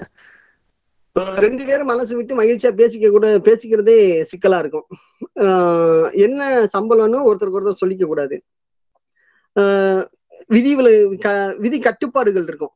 சுதந்திரமா என்ன வருமானம் தனக்கு என்ன சம்பளம்னு இன்னொருத்தவனுக்கு சொன்னா அது அப்படி ஏன் சொன்னங்கிறதுக்கான குற்ற நடவடிக்கை அங்க அங்கே அங்க நிகழ்த்தப்படும். அப்ப ஒரு ச கூட உள்ள ஒரு சக மனிதன்கிட்ட கூட நட்பா சுதந்திரமா பேசுறது பழகுறது கூட வா- வாய்ப்பில்லாத ஒரு மன இறுக்கத்தை மன சுதந்திரமற்ற சூழலை வந்து இங்க இந்த உற்பத்தி முறை உருவாக்கி வச்சிருக்கதை நம்ம நம்ம பாக்குறோம் அப்புறம் இந்த பொருளாதார ரீதியா பண்பாட்டு ரீதியா அரசியல் ரீதியாக என்று சொல்லும் போதெல்லாம் நாம் சமூக கண்ணோட்டத்துல எப்படி புரிஞ்சுக்கிறோம் அப்படின்னா எப்படி புரிஞ்சுக்கணும் அப்படின்னா உணவு உடை உற்பத்தி சார்ந்த அத்தியாவசிய தேவைகளுக்கான நடவடிக்கைகள் எல்லாம் நடவடிக்கைகள் எல்லாம் பொருளாதார பொருள் உற்பத்தி கட்டமைப்பு. இதை அடிப்படையாக கொண்டுதான் சமூகத்தின் பண்பாடு அரசியல் எல்லாம் தீர்மானிக்கப்படுது. அப்ப பண்பாடு என்றால் அதுல மனிதர்களுடைய வாழ்வியல் சார்ந்த விஷயங்கள் இருக்கு. நாம நம்முடைய குடும்பம் நம்முடைய இலக்கியம் நம்முடைய கல்வி நம்முடைய தத்துவம் அரசு இது எல்லாமே அந்த வாழ்வியல்ல என்னென்ன நிறுவனங்கள் இருக்கோ எல்லாமே அந்த வாழ்வியல் அடங்கிறோம் இந்த வாழ்வியலுக்கான கருத்தியல்கள் ம- தனி சமூக கருத்தியல்கள் எல்லாம் இந்த வாழ்வியல் குறித்த கருத்தியல்கள் இப்போ உதாரணத்துக்கு சாதி பார்ப்பது தவறு அப்படின்னு எனக்கு ஒரு கருத்து இருக்குது. சாதி என்பது கௌரவம் அப்படின்னு இன்னொரு கருத்து இருக்குது. இப்படி ஒன்றை பற்றி பல்வேறு கருத்துக்கள் இந்த சமூகத்துல இருக்குது. இது எல்லாமே சமூக கருத்தியல்கள். இந்த கருத்தியல்களில் தனி மனித நிலைப்பாடு என்ன? பல்வேறு கருத்துக்கள்ல ஒரு மனிதன் தான் என்ன தான் எத்தகைய கருத்தை சார்ந்தவனாக இருக்கிறான் என்பது முக்கியம். இது தனி மனித நிலைப்பாடு. இந்த தனி மனித நிலைப்பாட்டில் இருந்து தான் நாம் உருவாக்கக்கூடிய இலக்கிய கருத்தாக்கங்கள் வெளிப்படும். ஆக இலக்கிய கருத்தாக்கங்களை படைப்பவர்களுக்கு சமூக கருத்தியல்களின் அரவணைப்பு முக்கியமானது. நான் சமூக வாழ்வியல் குறித்தும் பண்பாடு குறித்தும் முழுதலாவிய ஒரு கண்ணோட்டம் தேவை. சமூக உள்ளத்தியல். நாம நாம எல்- நான் பேசுவது எல்லாம் நீங்க கவனி நீங்க க- கவனிக்கிறீங்கன்னு நினைச்சு நான் பேசுறேன். ஆஹ் ஆனா நான் பேசும்போதே கூட வேற சில சிந்தனைகள் என்னுடைய ஆழ் மனசுல உருவாகுது. பக்கத்துல யார் கதவு தட்டுறது? வெளியில என்ன சத்தம்? இந்த இந்த நேரத்துக்குள்ள நம்ம சரியா முடிச்சிட்டோமா? தேவைக்கு மீறி நம்ம நேரம் எடுக்கிறோமா? என்பது மாதிரியான எண்ணங்கள் எல்லாம் பெரும்பாலும் என் மன உணர்வுல வெளிப்படுது. இது எல்லாம் உளவியல். உளவியல் நம்முடைய அறிவு நிலையில் சிந்திப்பதை காட்டிலும் சிந்திக்கப்படாமல் எண்ணங்களாக தொகுக்கப்படுபவை தான் ஏராளம். அப்ப சமூக சமூக உளவியல் என்பது வந்து இந்த நிறுவனங்கள் சார்ந்த ஏராளமான எண்ணங்கள் மனித எல்லா மனிதர்களுக்கும் இருக்கும். அப்புறம் கருது தனி மனித உலக பார்வை என்பது முக்கியமானது. இந்த உலகத்தை இந்த வாழ்க்கையை இந்த சூழ்நிலையை எப்படியெல்லாம் நம்ம பார்க்குறோம் என்பது முக்கியம். ஆஹ் இப்ப தினமலர் படிச்சுக்கிட்டு இருக்கிறவங்களுக்கு தினமலர் எப்படிப்பட்ட உலக பார்வையை சொல்லித் தருதோ அந்த கண்ணோட்டத்திலேயே பார்ப்பாங்க. ஆஹ் தினத்தந்தி படிக்கிறவங்களுக்கு வேறொரு உலக பார்வை இருக்கும். ஆனா இந்த உலக பார்வைக்கு எல்லாம் அடிப்படையாக இருப்பது தத்துவம் தான். தத்துவம் என்பது வந்து ரெண்டு வகைதான். ஒண்ணு அறிவியல் தத்துவம் இன்னொன்னு அறிவு எதிர் தத்துவம். அறிவியல் தத்துவம் என்பது ஆஹ் இந்த உலகத்தை நம்முடைய வாழ்க்கையை எல்லாம் பொருள் சார்ந்ததாக பார்ப்பது. நீங்களும் பொருள் நானும் பொருள். இந்த பிரபஞ்சத்தில் எல்லாமே பொருள்கள் தான். இந்த பொருள்கள் இயங்கிக் கொண்டும் மாறிக்கொண்டும் இருக்குது. நேத்து இருந்தபடி இன்னைக்கு நீங்க இருக்க நீங்க இருக்க போறது இல்ல இன்னைக்கு இருக்கிறபடி நாளைக்கு நீங்க இருக்க போறது இல்ல நம்முடைய நிலைமை சூழல் எல்லாமே மாறிக்கிட்டே தான் இருக்கும். இந்த மாற்றங்களுக்கு இடையில் நாம் திட்டமிட்டு வாழ்வது எப்படி என்பதுதான் முதன்மையானது. இது அறிவியல் தத்துவம். அறிவு எதிர் தத்துவம் என்ன சொல்லுது? இந்த இயக்கம் மாற்றம் பொருள்கள் எல்லாமே மாயி. இதெல்லாம் உண்மை கிடையாது. நடந்ததே தான் திரும்ப திரும்ப நடந்துகிட்டு இருக்கோம் என்று சிந்திப்பது அறிவியல் எதிர் தத்துவம். ஆக இந்த இந்த முழுமையின் சாராம்சமாக நாம் இந்த சமூகத்தை புரிந்து கொள்வது அந்த புரிதலில் இருந்து நாம் இலக்கியங்களை படைப்பது என்பது ஆஹ், இலக்கியங்களை படைப்பதும் படிப்பதும் முக்கியம். இலக்கியங்களை படிக்கும் பொழுது நமக்கு மதிப்பிடக்கூடிய ஆஹ், மதிப்பிடக்கூடிய அறிவு நமக்கு தேவை. ஏன்னா வெறுமனை படி எழுத்துக்களை படித்து கடந்து செல்பவர்களாக இல்லாமல் ஒரு இலக்கியத்தை படிப்பதனால் நம் மனத்தில் என்- நம் மனங்களில் என்ன வகையான மாற்றம் ஏற்படுகிறது? சமூகத்தில் என்ன வகையான மாற்றங்கள் தேவைப்படுகிறது? அந்த மாற்றங்களுக்கு உந்து உந்து சக்தியாக இந்த இலக்கியம் தரக்கூடிய எண்ண ஓட்டங்கள் கருத்தாக்கங்கள் அமைகின்றனவா?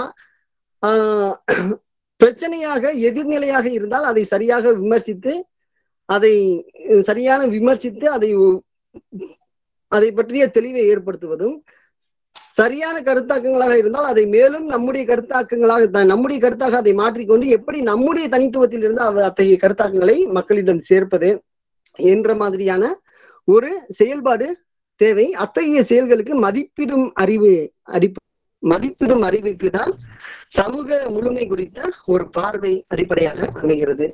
அந்த வகையில நாம எல்லாரும் கவிதை எழுதுபவர்கள் ஒவ்வொருத்தவங்களும் அவங்கவுங்க தனித்துவத்துல இருந்து செயல்படுவோம்ல. கவிதை நம்ம கவிஞரா இருக்கோமா?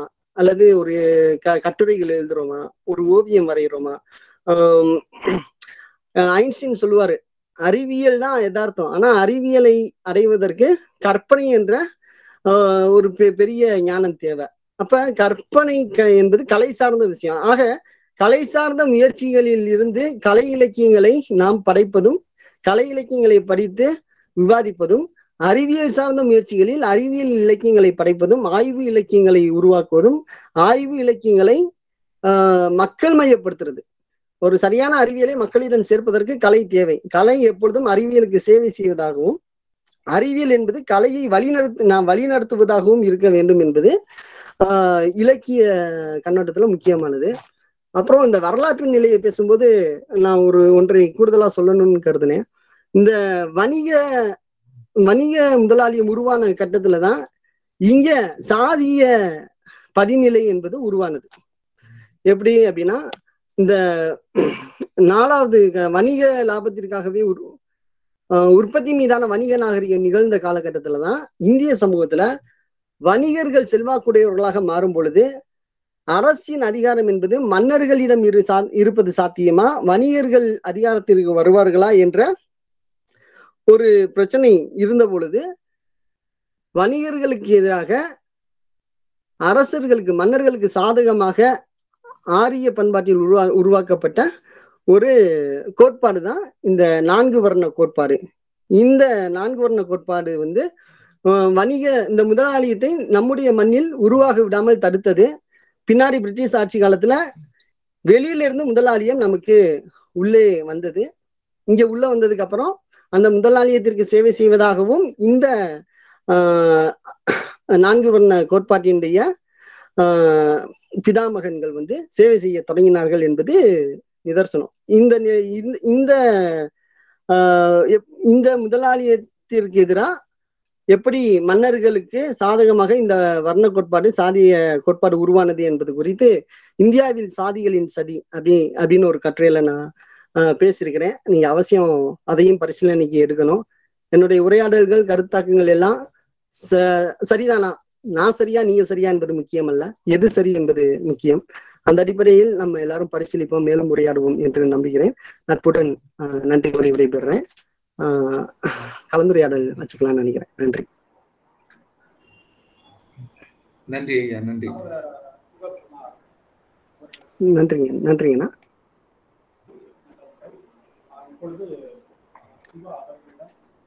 சவுண்டு கம்மியா இருக்கு. சார் சத்தம் குறைவா இருக்கு சார். இப்போ சரியா இருக்கான்னு பாருங்க. இப்போ சார் போன்ல போன்ல வால்யூம் ஏத்திக்கங்க சார். இப்போ சரியா இருக்கா? இல்ல சார் இல்ல இல்ல இன்னும் சரியாகல. இப்போ சரியா இருக்கா? ஆ ஓகே சார் ஓகே பரவாயில்ல. ஓகே நல்ல ஒரு மாலை பொழுதில் அருமையான உரையை நமக்கு சிவா அவர்கள் ஆஹ் உரை நமக்கு ஏற்படக்கூடிய ஆஹ் கேள்விகள் நம் சொல்லக்கூடிய கூடுதல் தகவல்கள் ஆகியவற்றை இப்பொழுது நாம் பகிர்ந்து கொள்ளலாம். அதற்கான நேரம். நமக்குள் இருக்கக்கூடிய எல்லா கருத்துலையும் முதலாளியம் குறித்து நவீன முதலாளியம் குறித்து ஆஹ் நவீன முதலாளியத்திலும் முதலாளியத்திலும் உருவான இலக்கியங்கள் குறித்து ஆஹ் முதலாளித்துவ நோக்கில் உருவான இலக்கியம் அல்லது இலக்கியத்திற்குள் முதலாளித்துவத்திற்கு எதிரானவர்கள் பதிவு செய்திருக்கக்கூடிய விஷயம் அல்லது இலக்கியத்திற்குள் முதலாளிகளும் முதலாளிய ஆதரவாளர்களும் பதிவு செய்திருக்கக்கூடிய விஷயம். ஆஹ் இது பற்றியெல்லாம் நாம் கவனத்தில் கொள்ள வேண்டியிருக்கிறது. அது குறித்து இந்த கலந்துரையாடலை நாம் விரிவாக பேசலாம். ஆஹ் கேள்விகள் யாருக்காவது? அது கூடுதல் சந்தேகம் கூடுதல் விளக்கம் எல்லாருமே பேசலாம். ஆஹ் ஐயா முதல்ல நான் தொடங்குறேங்கய்யா. வணக்கம். தொடங்க கண்டிப்பா. ஆ சரிங்க. ஐயா முதல்ல இந்த முதலாளியத்தை பத்தி நீங்க குறிப்பிட வரும் பொழுது முதல்ல இருந்தே வேட்டை சமூகத்துல இருந்தே தொடர்ச்சியா ஒன் ஒன்றன் பின் ஒன்றா சொல்லி வர்றீங்க மந்தை வேளாண்மை தொடர்ந்த நிலவுடைமை சமூகம் வணிகம் தொடங்கிய காடு. தொடர்ந்து பொருள் சேகரிப்பு நாகரிகம் முதன்மையானது. ஐயா? காடு சார்ந்த பொருள் சேகரிப்பு நாகரிகம் தான் முதன்மையானது. சரிங்க. அப்புறம் வேளாண்மை தொடர்ந்து நிலவுடைமை சமூகம் வணிகம் தொடர்ந்து முதலாளிய சமூகம் அப்புறம் ஆலை அதுக்கப்புறம் தான் நீங்க நவீன முதலாளியம் அப்படின்னு ஒண்ணு குறிப்பிட்டீங்க. சரியா இருந்தது. அதுல என்னோட கேள்வி என்னங்க நவீன முதலாளியம் அப்படிங்கிறத நாம இப்போ முதலாளியம் அப்படிங்கறத கேபிட்டலிசம் என்கிற ஒரு ஆங்கில பதத்தோட குறிப்பிடுகிறோம். நவீன முதலாளியம் என்பதை எவ்விதமான ஆங்கில பதத்தில் குறிப்பிட வேண்டும் அப்படிங்கிறத கேட்க விரும்புறேன். ஏன்னா அது- அது காலத்தோட தேவையா இருக்குது. நம்ம இந்த தளத்தோட மட்டும் அதை கடந்து போக முடியாது. அதனால அது ஒரு கேள்வி.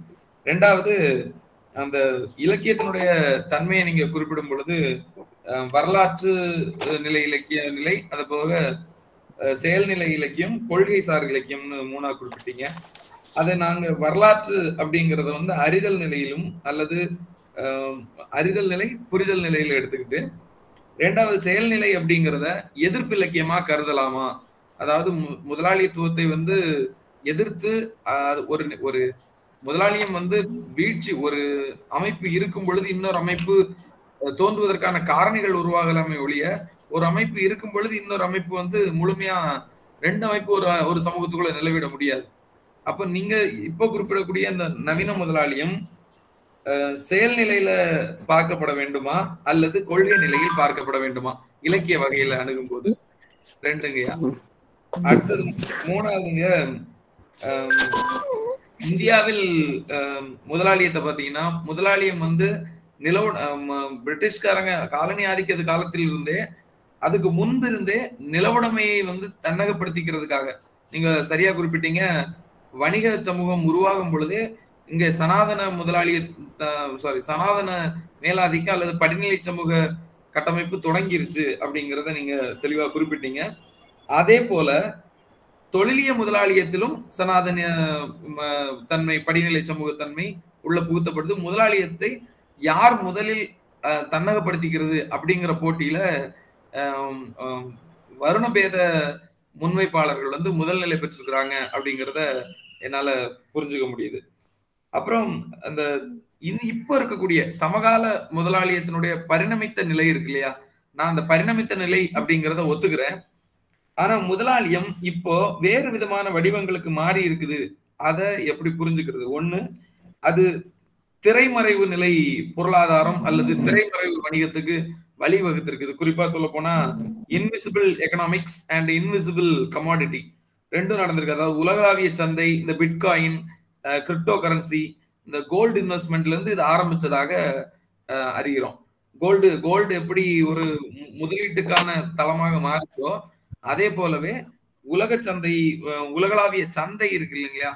அதுல வந்து கண்ணுக்கு புலப்படாத மூலதன உருவாக்கம் அது ரொம்ப முக்கியமா இருக்கு. இது வந்து நவீன முதலாளித்துவத்துக்குள்ள எப்படி பொருந்தும் அப்படிங்கிறத விளக்குனீங்கன்னா இன்னும் பயனுள்ளதா இருக்கும்னு நினைக்கிறேன்.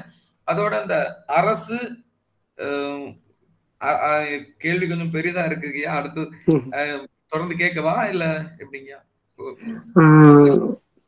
ஆஹ் எத்தனாவது கேள்வி அதையும் சொல்லிடுறீங்க. இன்னும் நிறைய இருக்கா? இல்ல இல்ல முடிச்சிருக்கீங்க இல்லைங்கய்யா. ரெண்டு ரெண்டு இன்னும் ரெண்டு தான் இருக்கு. சொல்லுங்க சொல்லுங்க. அரசினுடைய பங்கு. இதுல அரசினுடைய பங்கு அப்படிங்கிறது அரசு என்பதே நிலவுடைமையை வலுப்படுத்தக்கூடிய அல்லது முதலாளியத்தை வலு வலுப்படுத்தக்கூடிய ஒரு அமைப்பாகத்தான் இயங்கி வந்திருந்ததை வரலாற்று நெடுகிலும் பார்க்க முடியுது.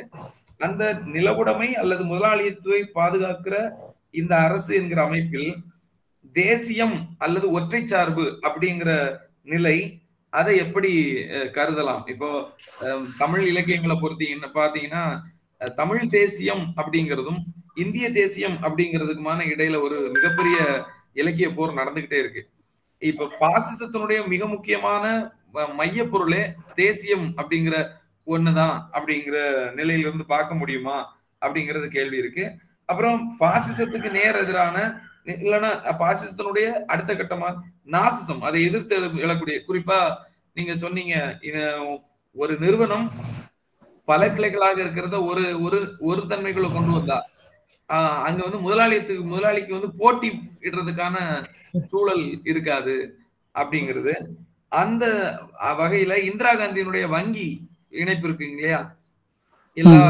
வங்கிகளையும் ஒரு புள்ளிக்குள்ள கொண்டு வந்து அரசுரிமையாக்குன அந்த தன்மை. அதை வந்து இதுக்குள்ள பொருத்தி பார்க்கலாமா அப்படிங்கிறது கேள்விங்க அந்த அரசும் ரொம்ப சுருக்கமா சொன்னா அரசு என்பது முதலாளித்துவத்தின் பரிணமிப்புக்கு வழிவிடுகிறதா?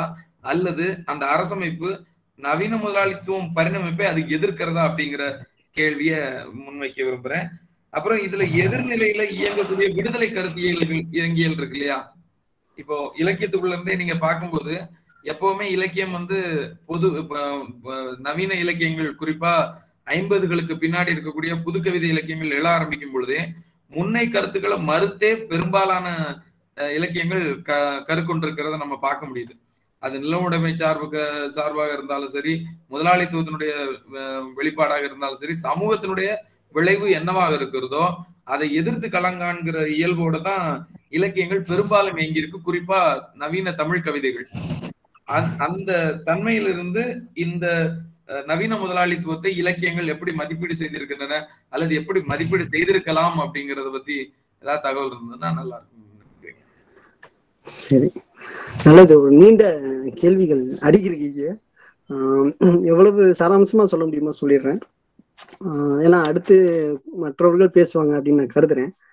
அதாவது நவீன முதலாளியத்துக்குன்னு தனி பெயர் வச்சுக்கலாமா அப்படின்னா அப்படி வைக்க முடியாது. ஏன்னா முதல் நவீன முதலாளியம் என்பது வந்து முதலாளியம் என்ற உற்பத்தி முறையில இருந்து வேறுபட்டது மாறி மாறுபட்டது கிடையாது. அது ஒரு முதலாளியம்ங்கிறது பிறந்த குழந்தை அப்படின்னா நவீன முதலாளியம் என்பது வந்து ஆஹ் கிழட்டு கட்டிய போய் சாக போற கிழமை. அப்படிதான் நம்ம புரிஞ்சுக்கணும். அது அதாவது லெனின் சொல்வாரு அழுகி நான் வீச்ச- வீச்சம் இருக்கக்கூடிய ஏகாதிபத்தியம் நவீன முதலாளியம் ஏகாதிபத்தியம் அவர் குறிப்பிடுறாரு. ஒரு அழுகி வீழ்ச்சி அடையக்கூடிய கட்டத்தில் இருக்கக்கூடிய ஒரு கட் இடம் தான் இந்த நவீன முதலாளியம் என்பது. ஆஹ் அதுக்காக அது அதுதான் முதலாளிய உற்பத்தி அதுவே அழிஞ்சு போயிருமே அப்புறம் எதுக்கு அதுக்கு எதிர்கருத்து அப்படின்னு கேட்டா அப்படி இல்லை. ஆஹ் அதாவது ஆஹ் ஒரு சமூக மாற்றம் என்பது வந்து ஒரு முட்டைக்குள் பிறக்க வேண்டிய குஞ்சு அப்படின்னா அது தானா தானா பிறந்துறாது அதை அடைகாக்க வேண்டிய பொறுப்பு சேவலுக்கு இருக்கிற மாதிரி இந்த மக்களுக்கும் அடைகாக்க வேண்டிய தேவை இருக்குது. ஆக அது ஒரே சமூக அமைப்பு தான்ங்கிறத நம்ம புரிஞ்சுக்கணும். அது முதிர்ந்த வடிவமே தவிர அது வேறொரு சமூக அமைப்பு கிடையாது. ஆஹ் அதனால தனியா அதுக்கு பேர் வைக்க முடியாது. அப்படி ஆனா அப்படி பேர் குறிப்பிடுறாங்க. என்னன்னா ஏகாதிபத்தியம் அப்படின்னு குறிப்பிடுறாங்க. ஆஹ் அதுக்கு வந்து ஆங்கிலத்துல எனக்கு ஆங்கில அறிவு குறைவு. ஆஹ் அதுக்கு ஆங்கிலத்தில் இம்பர்லிசம் நினைக்கிறேன். அதை கொஞ்சம் அதை கொஞ்சம் பாருங்க. அப்புறம் செயல்நிலை அப்படின்னு நம்ம எடுத்துக்க எடுத்துக்கலாமான்னு நீங்க கேக்குறீங்க. நான் என்ன கருதுறேன் அப்படின்னா நம்ம இலக்கியம் படைப்பவர்களும் படிப்பவர்களும் அர்த்தப்படுத்துவதற்கான முயற்சிகளில் ஈடுபடுறோம். அதாவது ஒரு பழைய இலக்கியங்களை வந்து ஏன் நம்ம இன்னைக்கு படிக்கணும் அப்படின்னா இன்றைய காலகட்டத்துக்கு ஏற்றபடி எப்படி நாம் அதை அர்த்தப்படுத்த முடியும் என்பது முக்கியம். பழைய இலக்கியங்கள்ல ஆஹ் அந்த- அந்த இலக்கிய உருவான காலகட்டத்தினுடைய வரலாற்று ஆவணங்களும் நமக்கு கிடைக்கும். அதே நேரத்துல இன்றைய சமகால கருத்தாக்கங்களை புதுப்பித்துக் கொள்வதற்கான அர்த்தப்படுத்துதல்களும் நிகழும். அப்ப அர்த்தப்படுத்துவதற்காக இலக்கியங்களை விளங்கி கொள்வதற்காக நம்ம என்ன செய்யறோம் அதை வந்து ஒரு வகைப்படுத்த முயற்சி பண்றோம். அர்த்தப்படுத்துறதுக்காக வகைப்படுத்துறோம். ஆஹ் இது என்னுடைய ஆனா நீங்க அப்படி மாற்றி அர்த்தப்படுத்த முடியுமா அப்படின்னு கேட்டா அதற்கு அவசியம் இல்லை நான் கருதுறேன். அதுக்கப்புறம் நீங்க நிறைய கேள்வி கேட்டீங்க. நினைவுல உள்ள சில த சில தகவல் நான் சொல்றேன். நினைவுபடுத்த முடியுமா? அடுத்து என்ன கேள்வின்னு. ஆமா இன்விசிபிள் எக்கனாமிக்ஸ் அண்ட் கமாடிட்டி அந்த மர திரைமறைவு பொருளாதாரம் மற்றும் உலகளாவிய சந்தை இந்த பிட்காயின் கிரிப்டோ கரன்சி கோல்டு. அதாவது இந்த லாபவெறிக்காக இந்த நி- நிகழ்த்தக்கூடிய சூதாட்டங்கள் அதிகம் ஒரு பொருளை நேரடியாக உற்பத்தி செய்வதன் மூலமாக அந்த பொருளை உற்பத்தி செய்வதற்காகும் செலவே அந்த செலவை கணக்கிட்டு அதை அதற்கு விலை தீர்மானிப்பது அந்த விலை தீர்மானிக்கப்பட்ட பொருளை ஒரு இடத்திலிருந்து தேவைப்படும் பல்வேறு இடங்களுக்கு கடத்துவது என்பது என்பது மாதிரியான பொருளாதார நடவடிக்கைகளை எல்லாம் பொருள் பரிம பரிவர்த்தனைக்கான நடவடிக்கைகளை எல்லாம் கைவிட்டு விட்டு வெறுமனே பங்கு வர்த்தகம் ஒரு பொருளினுடைய பங்கு மதிப்பீடு அப்படின்னு அவன் உ- அவங்க உருவாக்கக்கூடிய மதிப்பீடு இருக்குதுல்ல? அது வந்து அது வந்து கிட்டத்தட்ட ஒரு சூதாட்டம் மாதிரி தான் நான் கருதுறேன். அதுல வந்து நேரடியான பொருள் குறித்த மதிப்பீடுகள் எதுவும் கிடையாது. அது லாபத்திற்கு ஏற்றபடி லாபத்தி இந்த இந்த சூழல்ல இந்த இந்த இந்த விஷயத்த நம்ம கையில எடுத்தா நம்ம லாபம் பார்க்க முடியும். இதை வைத்து நாம் இதை ஒரு நுகர்வு விஷயமா மாற்றுவதன் மூலமாக நாம பணம் பார்க்க முடியும் என்ற ஒரு முயற்சிகளாக தான் நம்ம இந்த லாப வெறியினுடைய இத்தகைய முயற்சிகளை நம்ம- நம்ம பார்க்கணும் அப்படின்னு நான் கருதுறேன். இன்னொன்று இந்த அரசு இதற்கு சாதகமா இருக்கா? அல்லது நவீன முதலாளியத்திற்கு சாதகமா இருக்கா அப்படின்னா அது நவீன முதலாளியத்திற்கு சா- சாதகமாக தான் இருக்க முடியும்.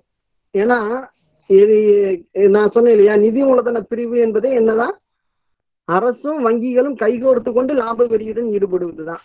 அப்ப அதனாலதான் இந்த என்னதான் அரசு சில அரசியல் கட்சிகள் வந்து எதிர்ப்பு தெரிவி சில கொள்கைகளுக்கு சில திட்டங்களுக்கு எதிர்ப்பு தெரிவித்தாலும் அரசின் கொள்கைகள் என்னவா தான் இருக்கு?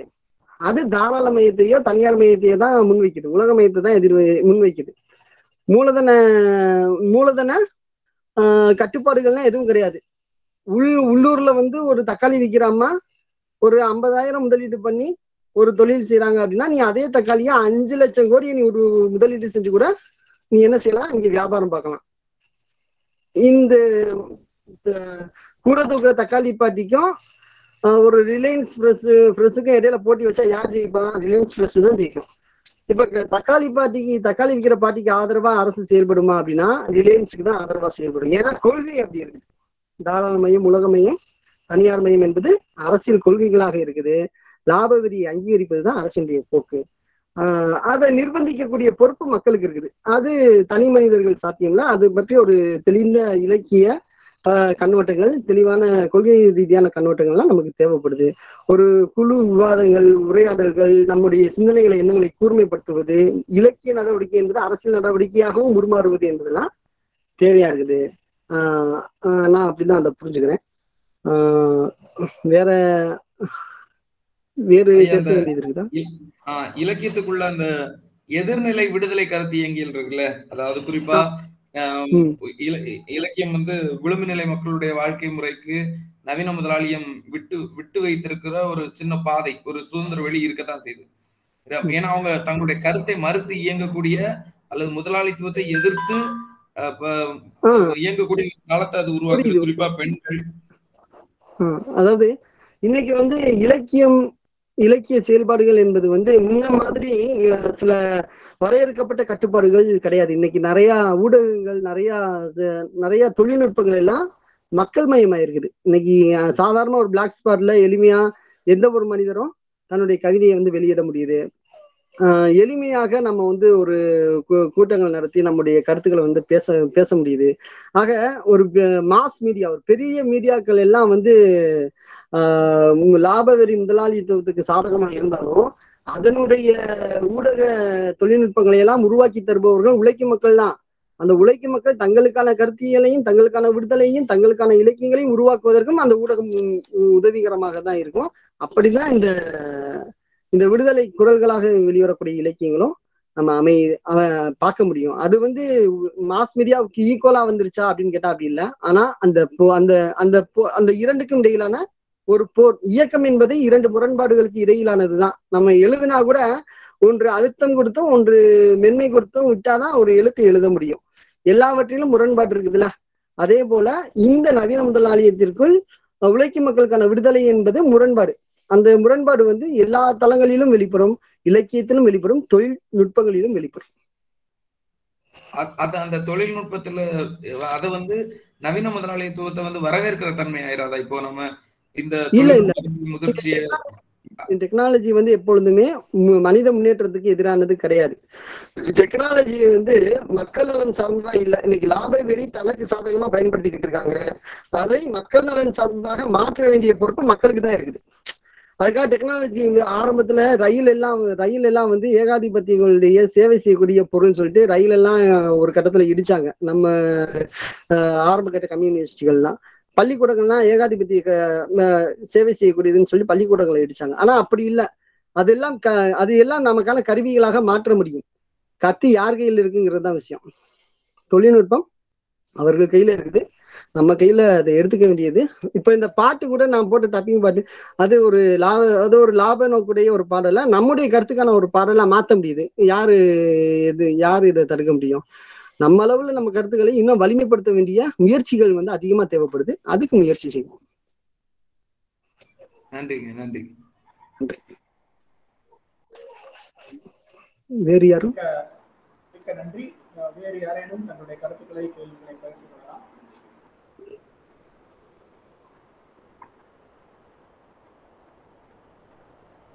வேறு யாரேனும்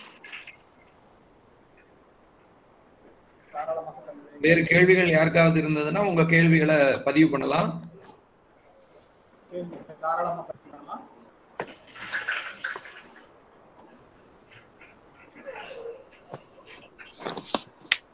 யாராவது?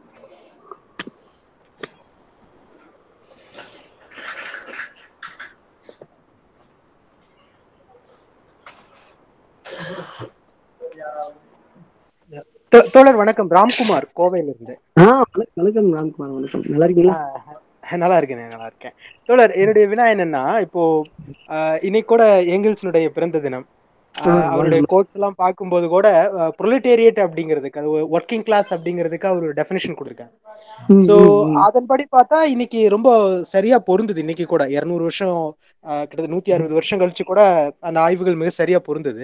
என்னுடைய. கேள்வி என்னன்னா இந்த இப்போ தோழர் ஒரு கேள்வி கேட்டாரு இங்கிலீஷ்ல என்ன ஒருவேளை இது நியோ கேபிட்டலிசம் நவ தாராளவாதம் சொல்றோம் இல்லைங்களா. இந்த மாதிரியான இதுக்குள்ள பொருந்தலாம் ஆனா இந்த. காலகட்டத்துல அதாவது நீங்க சொல்ற மாதிரி முதலாளித்துவம் அழுகி போகிற ஒரு காலகட்டத்துல.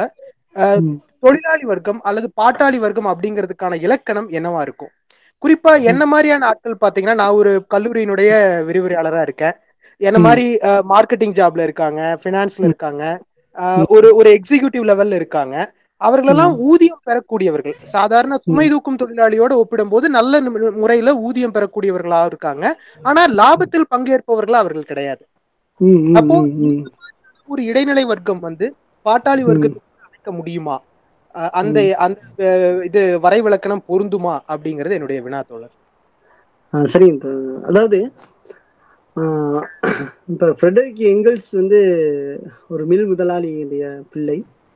ஆனால் அவருடைய சிந்தனை எல்லாம் ஒரு பாட்டாளி வர்க்க சிந்தனையாக இருந்தது. ம- வாழ்நிலை வந்து சிந்தனையை தீர்மானிக்கிறது என்பது உண்மைதான். ஆனால் லட்சியங்கள் என்பது வந்து ஒரு ஒரு ஒரு- மாணவர் ஒரு மாணவருக்கு வந்து அவர் என்னதான் விவசாய குடி சார்ந்த பிள்ளையாக வளர்ந்து வளர்ந்து இருந்தாலும் கூட அவருக்கு கூட நாம ஒரு உயர்ந்த ஒரு பொருளாதாரத்துல ஒரு உயர்ந்த ஒரு உயர்ந்த ஒரு வர்க்கமா ஒரு ஆதிக்கம் செலுத்தக்கூடிய ஒரு வர்க்கமா நம்ம இருந்துட முடியாதா? அப்படிங்கிற ஒரு கனவுனா இருக்கலாம். சினிமா சினிமா மாதிரியான கலை வடிவங்கள் நமக்குள்ள ஏற்படுத்தக்கூடிய உணர்வுகள்ல இருந்து அவர்களுக்கு ஏற்படக்கூடிய கருத்தாக்கங்கள். இதெல்லாமே இது எல்லாமே வந்து தன்னுடைய வர்க்க நிலையிலிருந்து வேறொரு வர்க்க நலனை சார்ந்தவர்களாக அவர்கள் இருக்கும்படி செய்யும். இதை மாற்றுவதற்கு தான் இலக்கியம். எ- எளிய மக்கள் எளிய மக்களினுடைய சிந்தனைகளை பாட்டாளி வர்க்க நலன் உழைக்கும் மக்களுடைய விடுதலை என்ற கருத்தாக்கங்களுக்கு ஆட்படுத்த வைப்பதற்காக தான் இலக்கியம் தேவை. ஆனா பாட்டாளி என்பதற்கான வரையறை என்ன அப்படின்னு கேட்டா உழைப்பை தவிர வேற எதுவும் இழப்பதற்கு இல்லை. எதுவும் இல்லை ஆனால் அடைவதற்கு ஒரு பொன்னுலகம் இருக்கு என்ற ஒரு லட்சியத்தையும் அதே நேரத்துல இ- உழைப்பை தவிர வேற எதுவும் இழப்பதற்கு இல்லை என்ற வாழ்நிலையிலையும் இருப்பவர்கள் தான் நம்ம பாட்டாளிகள் சொல்றோம். ஆஹ் இந்த இந்த நிலையில இருந்து இலக்கியத்தை நம்ம அணுகும்போது என்ன இந்த வர்க்கத்தினுடைய நலனை பிரதானப்படுத்தி சிந்திப்பது. அத்தகைய ஒரு உழைக்கு மக்கள் விடுதலையை மேன்மைப்படுத்துவதற்கான உங்க இலக்கிய முயற்சிகள் தேவை அப்படிங்கிற ஒரு கண்ணோட்டத்துல நம்ம இந்த உரையை அணுகணும் அப்படின்னு நான் கருதுறேன். அதான் அதான் தொடர் நன்றி தோழர் நன்றி. இன்னொன்னு கடைசி கேள்வி என்னன்னா இது குறித்த தற்கால இலக்கியங்கள் நம்ம பிரித்து பார்க்க வேண்டிய தேவை இருக்கு. ஏன்னா எல்லாமே. வர்க்க உணர்வுகளோட எழுதப்படுகிறது தான். ஒண்ணு அவர்கள் ஆளும் வர்க்கத்துக்கோ அல்லது முதலாளித்துவத்திற்கோ சாதகமா எழுதுவாங்க ஒரு நுகர்வு அடிப்படையில. இன்னொன்னு விஷயம் தெரிஞ்சவங்க அஹ் தத்துவார்த்த அறிவுல புரிதல் இருக்கிறவங்க ஒரு பாட்டாளி வர்க்க சிந்தனையிலயோ அல்லது வந்து ஒரு வேறு மாதிரியான ஒரு இடத்துல இருப்பாங்க. சிலர் நியூட்ரல்னு சொன்னாலும் அவங்க ஒரு வர்க்கத்தின் சார்பா தான் எழுத முடியும். அப்போ ஒரு. ஒரு பேராசிரியரா நீங்க பரிந்துரைக்கிற ஏதாவது எங்களை மாதிரி மாணவர்களுக்கு பரிந்துரைக்கிற இலக்கியங்கள் என்னென்ன? இந்த காலத்துல தற்காலத்துல நவீன முதலாளியத்துல. அதாவது இலக்கியம் குறித்த கல்வியாளர்கள் எல்லாம் அவசியம் நம்ம படிக்க வேண்டிய ஆட்கள் வந்து முக்கியமா கா. சிவத்தம்பி கைலாசபதி நா. வானமாமலை போன்ற அறிஞர்களை இலக்கிய அறிஞர்களை நம்ம கற்பது அவசியம். அதே மாதிரி ஆஹ் இந்த எல்லாரும் எல்லா இலக்கியங்களையும் படிச்சிடறதுக்கான சூழலும் இன்னைக்கு கிடையாது. யதார்த்தத்துல இன்னைக்கு ஒரு ஆசிரியரா வேலை பார்க்குறவங்க ஒரு நாளைக்கு எத்தனை பக்கம் படிப்பாரு? புதிய நூல்களை எத்தனை பேர் வாங்கி வச்சு படிக்கிறாங்க? புதிய நூல்களை வாங்கி வச்சா படிக்கிறோமா அப்படிங்கிறது ஒரு கேள்வி. பெரும்பாலும் அதே மாதிரி நூலகங்கள் இருக்கு. இப்ப கல்லூரிகள்ல நூலகங்கள் இருக்குது. எத்தனை மாணவர்களை வந்து நம்ம வாசித்து அந்த அந்த வாசிப்பின் மூலமா உங்களுடைய சிந்தனைகள் என்ன என்பதை உரையாடுவதற்கான கலந்துரையாடல் செய்வதற்கான வாய்ப்புகளை எத்தனை மாணவர்களுக்கு நம்மளால கொடுக்க முடியுது? வாசிக்கும் பண்பாட்டில இருந்து எனக்கு விலகி போறதுக்கான புறநிலை சூழல்கள் ஏராளமா இருக்குது. ஆனா அதையும் தாண்டி முகம் முகம் அறியாத பிரபலமாகாத எளிமையான கவிஞர்கள் ரொம்ப நல்ல சிந்தனைகளை ரொம்ப ஆரோக்கியமான கவிதைகளை எழுதக்கூடிய கவி கவிஞர்கள் இலக்கிய ஆளுமைகள்லாம் இருக்கிறாங்க. ஆனா அவங்கள வந்து வெறும் பத்து பேர் இருபது பேர் தான் படிப்பாங்க. எல்லாருக்கும் போய் சேர்றது கிடையாது. அது இப்படிப்பட்ட முரண்பாடுகளும் இருக்குது. நாம என்ன- சொல்றோம்னா தேடணும் மதிப்பிடணும்னு சொல்றோம். ஆஹ் அறியப்பட்டவர்கள் இல்லைன்னு சொல்லல. இப்ப நம்ம மூ. மேத்தால இருந்து இன்னைக்கு ஆஹ் இன்னைக்கு சமகால சமகாலம் வரையும் துல்லியமா சொல்லக்கூடிய கவிஞர்கள் இருக்கலாம். ஆனா நம்ம வந்து இவர்களை தான் படிக்கணும். மற்றவர்களை மற்றவர்களை மற்றவர்களை புறம் புறந்தள்ளணுங்கிற ஒரு மனநிலை நமக்கு வராது. ஆனா எல்லாரையும் நம்ம மதிப்பிடணும்னு சொல்ல வரேன் நம்மளை சுற்றி இப்ப என்னுடைய நண்பர்கள் பத்து பேர் இருக்காங்கன்னா நான் வந்து வைரமுத்த படிச்சாலும் சரி அல்லது மேத்தாவை படிச்சாலும் சரி என்னுடைய நான் எல்லா அவங்களுடைய இலக்கியத்தை காட்டிலும் என்னுடைய நண்பர்கள் எழுதியிருக்கக்கூடிய இலக்கியம் அவங்க உருவாக்கின ஒரு கதை அவங்களுடைய கவிதையை நான் படிச்சுட்டு அந்த கவிதை குறித்து உரையாடலை வந்து முதன்மைப்படுத்தணுங்கிறது தான் இன்னைக்கு தேவையா இருக்குன்னு நான் நினைக்கிறேன். ஏன்னா அப்பனா தான் நம்மள உள்ளவர்கள் தங்களுடைய தனித்துவங்களில் இருந்து வெளிப்படுவதற்கான வாய்ப்புகள் அதிகமாகும். அவர்கள் வந்து தேடி படிப்பதற்கான முயற்சிகளை வந்து ஊக்கப்படுத்த முடியும் அப்படின்னு நான் நினைக்கிறேன். வாசிப்பு முகாம்கள் நிறைய தேவைப்படுது. ஆஹ் கண்டிப்பா தோழர். ஒரு மகிழ்ச்சியான விஷயம் என்னன்னா இப்பெல்லாம் இந்த ஸ்பீட் ரீடிங் ஒர்க் ஷாப் எல்லாம் கொஞ்சம் பிரபலமாயிட்டு வருது. ஆஹ் ரொம்ப நிறைய மாணவர்களும் ஈவன் ஒரு யங்ஸ்டர்ஸ் எல்லாம் வந்து தேடி போறாங்க. இல்ல வாசிப்போட சேர்த்து உரையாடல் முக்கியம். ஒரு வா- வாசிப்பு என்பது பேசுவதற்காக தான். இப்ப ஆசிரியர்கள் என்ன செய்யறோம் மாணவர்கள்ட்ட ஒரு மணி நேரம் பேசணும்னா ரெண்டு மணி நேரம் நம்ம தயார் பண்றோம். பேசுறது அதாவது பேசுறதுக்காக நம்ம படிக்கிறோம். அப்ப படிக்கிற மாணவர்கள் என்ன செய்யணும்? ஒரு விஷயம் படிச்சாங்கன்னா பத்து ஒரு விஷயம் அவங்க படிச்சாங்கன்னா பத்து பேர்கிட்ட பேசணும். ஒரு விஷயம் அவங்க பேசணும்னா பத்து விஷயங்களை அவங்க தேடி போய் படிக்கணும். அப்ப இப்படி பேசுவதற்கும் படிப்பதற்கும் இடையிலான படிப்பதற்கும் இடையிலான அந்த அந்த முரண்பாடு இருக்குல்ல அதை வந்து கூர்மைப்படுத்தணும்னு சொல்றேன். அது தேவையா இருக்கு? மகிழ்ச்சி தோழர் நன்றி நன்றி. உங்களுடைய இதுக்கு கருத்துக்களுக்கு நன்றி. ஐயா வணக்கங்க ஐயா ஹலோ. வணக்கம். ஐயா வணக்கம். மணிகண்டன் மணிகண்டன். அதாவது டாக்டர் ஐயா குருசாமி ஐயாட்ட முனைவர் பட்டம் பயிற்றுட்டு இருக்கேன். ஒன்றும் இல்லைங்க. இன்றைய கால கருத்தியல் தளத்தில் இணைந்து தமது கருத்துக்களை பகிர்ந்தளித்த புதியவன் கே. சிவகுமார் ஐயா பதிவுகள் அனைத்தும் மிக சிறப்பாக அமைந்திருந்தது என்று கூறுவதில் மற்றற்ற மகிழ்ச்சி ஐயா அஹ், குறிப்பிட்டு சொல்லப்போனால் இலக்கியம் என்பதின் பொருளை பற்றி பல்வேறு தன்மைகளில் விளக்கிய விதம் மிகவும் அருமையாக இருந்தது. மேலும் இலக்கியத்தின் வாயிலாக நவீனத்துவ முதலாளிகளின் செயல்பாடுகள் தற்போதைய காலகட்டத்தில் எப்படி செயல்படுகின்றன என்பதை எடுத்துரைத்த கருத்துக்கள் உண்மையானவையே என்று கூறலாம். எனக்கு இந்த இடத்துல ஒரு சின்ன ஒரு ஐயம் இருக்குங்க என்ன அப்படின்னா இன்றைய காலகட்டத்தில் ஆஹ், முதலாளியத்துவத்தின் வாயிலாக நிலம் தற்போது எத்தன்மையில் பார்க்கப்படுகின்றன? அதாவது இன்றைய காலகட்டத்தில் முதலாளியத்துவத்தின் வாயிலாக நிலம் தற்போது எத்தன்மையில் பார்க்கப்படுகின்றன? ஏன்னா என்னுடைய முன்னேறப்பட்ட ஆய்வுக்கான ஒரு தலைப்பு தலைப்பு என்னன்னா நிலம் தான் அதாவது சிற்றிலக்கியத்தில் நிலம் சார்ந்த கருத்துக்கள். ஸோ அந்த வகையில இது எனக்கு எதுவும் பயன்படுற மாதிரி இருந்துச்சுன்னா வாயிலாக நிலம் எப்படி இருக்கு? அப்படின்றத இந்த இடத்துல இந்த வினாவுக்கான பதிலை சொன்னா நன்றாக இருக்கும் சரி சரி. அதாவது நிலம் என்பதை வந்து நீங்க சூழலியலோட இணைச்சு புரிஞ்சுக்கணும்.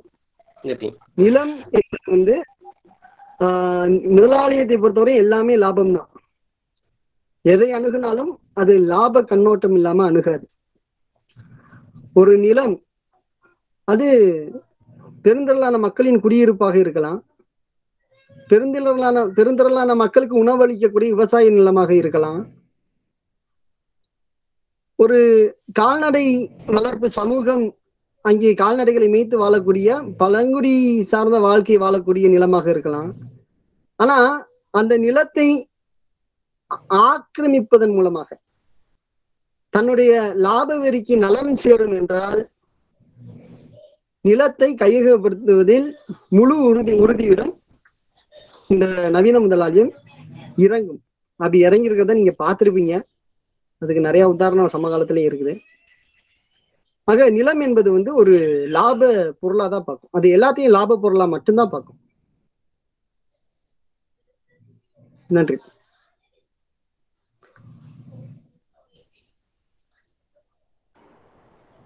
நன்றி அஹ் சிவகுமார் அஹ் இதுக்கு நன்றி ம், நன்றி. வேற யாருக்கேனும் கேள்விகள்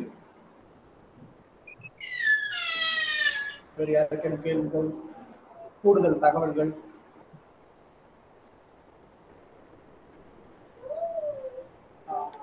அப்துல் ரஹ்மான் சார் அப்துல் ரஹ்மான் சார் பேசுங்க. உங்களுக்கு ஏதேனும் கூடுதல் தகவல்? ப்ளீஸ் ஷேர் மொபைல் நிகழ்வை நிறைவு செய்து கொள்ளலாமா? பேசுறீங்களா? ஐயா அப்துல் ரஹ்மான் சார் வந்து உள்ள நம்பர் கேட்டிருந்திருக்காங்க. புதியவன் ஐயாவோட நம்பர் இந்த கொடுக்குறேன். ஆ சரிங்க சரி.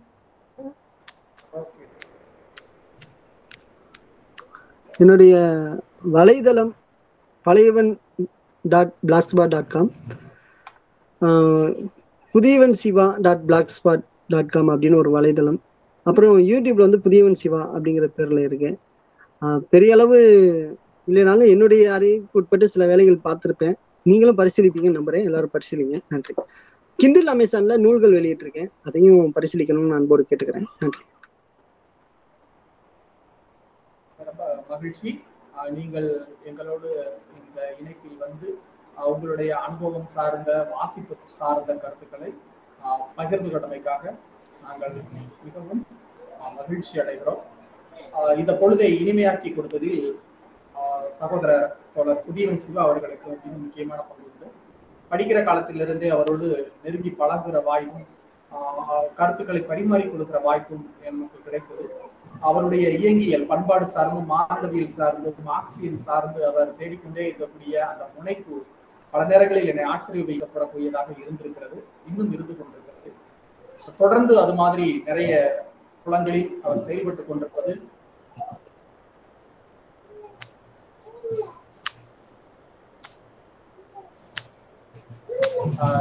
நமக்கு உத்வேகத்தை தரக்கூடியதாக இருக்கிறது. தொடர்ந்து அவர் செயல் நன்றி உரை சொல்வதற்காக பாரதியார் பல்கலைக்கழகத்தில் சைபர் செக்யூரிட்டி துறையில் ஆஹ் முதுநிலை மாணவராக பயந்து கொண்டிருக்கக்கூடிய தம்பி ராகேஷ் அவர்கள் இப்பொழுது நன்றி உரை வழங்குவார் அனைவருக்கும் வணக்கம். நவீன முதலாளித்துவம் இலக்கியம் என்ற தலைப்பில் இன்று கருத்தரங்கம் நடத்திய கருத்தியல் களம் மதுரைக்கு நன்றி. வரவேற்புரைய வழங்கிய வருங்கால முனைவர் கா. உஷா அவர்களுக்கு நன்றி. கருத்தரங்கின் ஒருங்கிணைப்பாளர் ஐயா நா. குருசாமி அவர்களுக்கு நன்றி. மேலும் நம் கருத்தரங்கின் நாயகர் புதியவன் கே. சிவகுமார் அவர்கள் மிக ஆழமான கருத்தை யதார்த்தமாக எடுத்துரைத்தார். ஓர் இலக்கியம் எவ்வாறு இருக்க வேண்டும்? கல்வி எவ்வாறு இருக்க வேண்டும்? இந்த முதலாளித்துவம் எப்பொழுது தோன்றியது. எவ்வாறு அது தோன்றியது? எவ்வாறு அது வளர்ச்சி அடைந்தது? மேலும் நாம் இன்று வாழும் காலத்தை நாம் எவ்வாறு அணுக வேண்டும்? பொது உடைமையை நாம் எவ்வாறு இங்கு செயல்படுத்த வேண்டும்? அதற்கான நோக்கி நாம் செய்யும் பயணம் எவ்வாறு இருக்க வேண்டும் என்று மிக அழகாக தன் பாடல் மூலமும் இங்கு பாடிக்காட்டிய ஐயா புதியவன் சிவா அவர்களுக்கு எனது நெஞ்சார்ந்த நன்றியை தெரிவித்துக் கொள்கிறேன். மேலும் பல கேள்விகளை கேட்ட அனைவருக்கும் பொறுமையாக வினா கூறிய ஐயா அவர்களுக்கும் மிகவும் நன்றியை தெரிவித்துக் கொள்கிறேன். மேலும் பங்கேற்ற அனைவருக்கும் எனது நெஞ்சார்ந்த நன்றிகள். மேலும் மற்றொரு கருத்தரங்கில் சந்திப்போம். நன்றி வணக்கம். நன்றி தம்பி ராகேஷ். நல்ல. வாழ்த்துறையை நல்ல வாழ்த்துறையை வழங்கிய மாநில கல்லூரியினுடைய முனைவர் பட்ட ஆய்வாளர் தோழர் கா உஷா அவர்களுக்கும் ஏறக்குறைய இந்த நிகழ்வில் நாற்பது பேர் கிட்ட நாம் கலந்திருக்கிறோம். எழில் அரசி அப்படிங்கிறவங்கள இருந்து முருகன் அப்படிங்கிறவங்கள இருந்து ஏறக்குறைய அந்த நம்ம நிகழ்ச்சியில இன்னைக்கு யார் யார் கலந்துக்கிட்டாங்க அப்படிங்கிற ஒரு பட்டியலவே நான் மெசேஜாக போடுறாங்க. அத்தனை பேருக்கும் கருத்தியல் களம் சார்பாக ஐடியாலஜி கமையும் சார்பாக நன்றியை தெரிவித்துக் கொள்கிறோம். மேலும் இன்னொரு தருணத்தில் இன்னொரு தலைப்போடு நாம் கூடுவோம் என்று சொல்லி இந்த நிகழ்வை இத்துடன் நிறைவு செய்கிறோம். அனைவரும்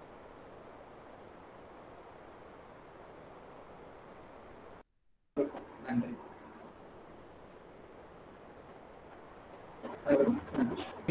நன்றி சார்.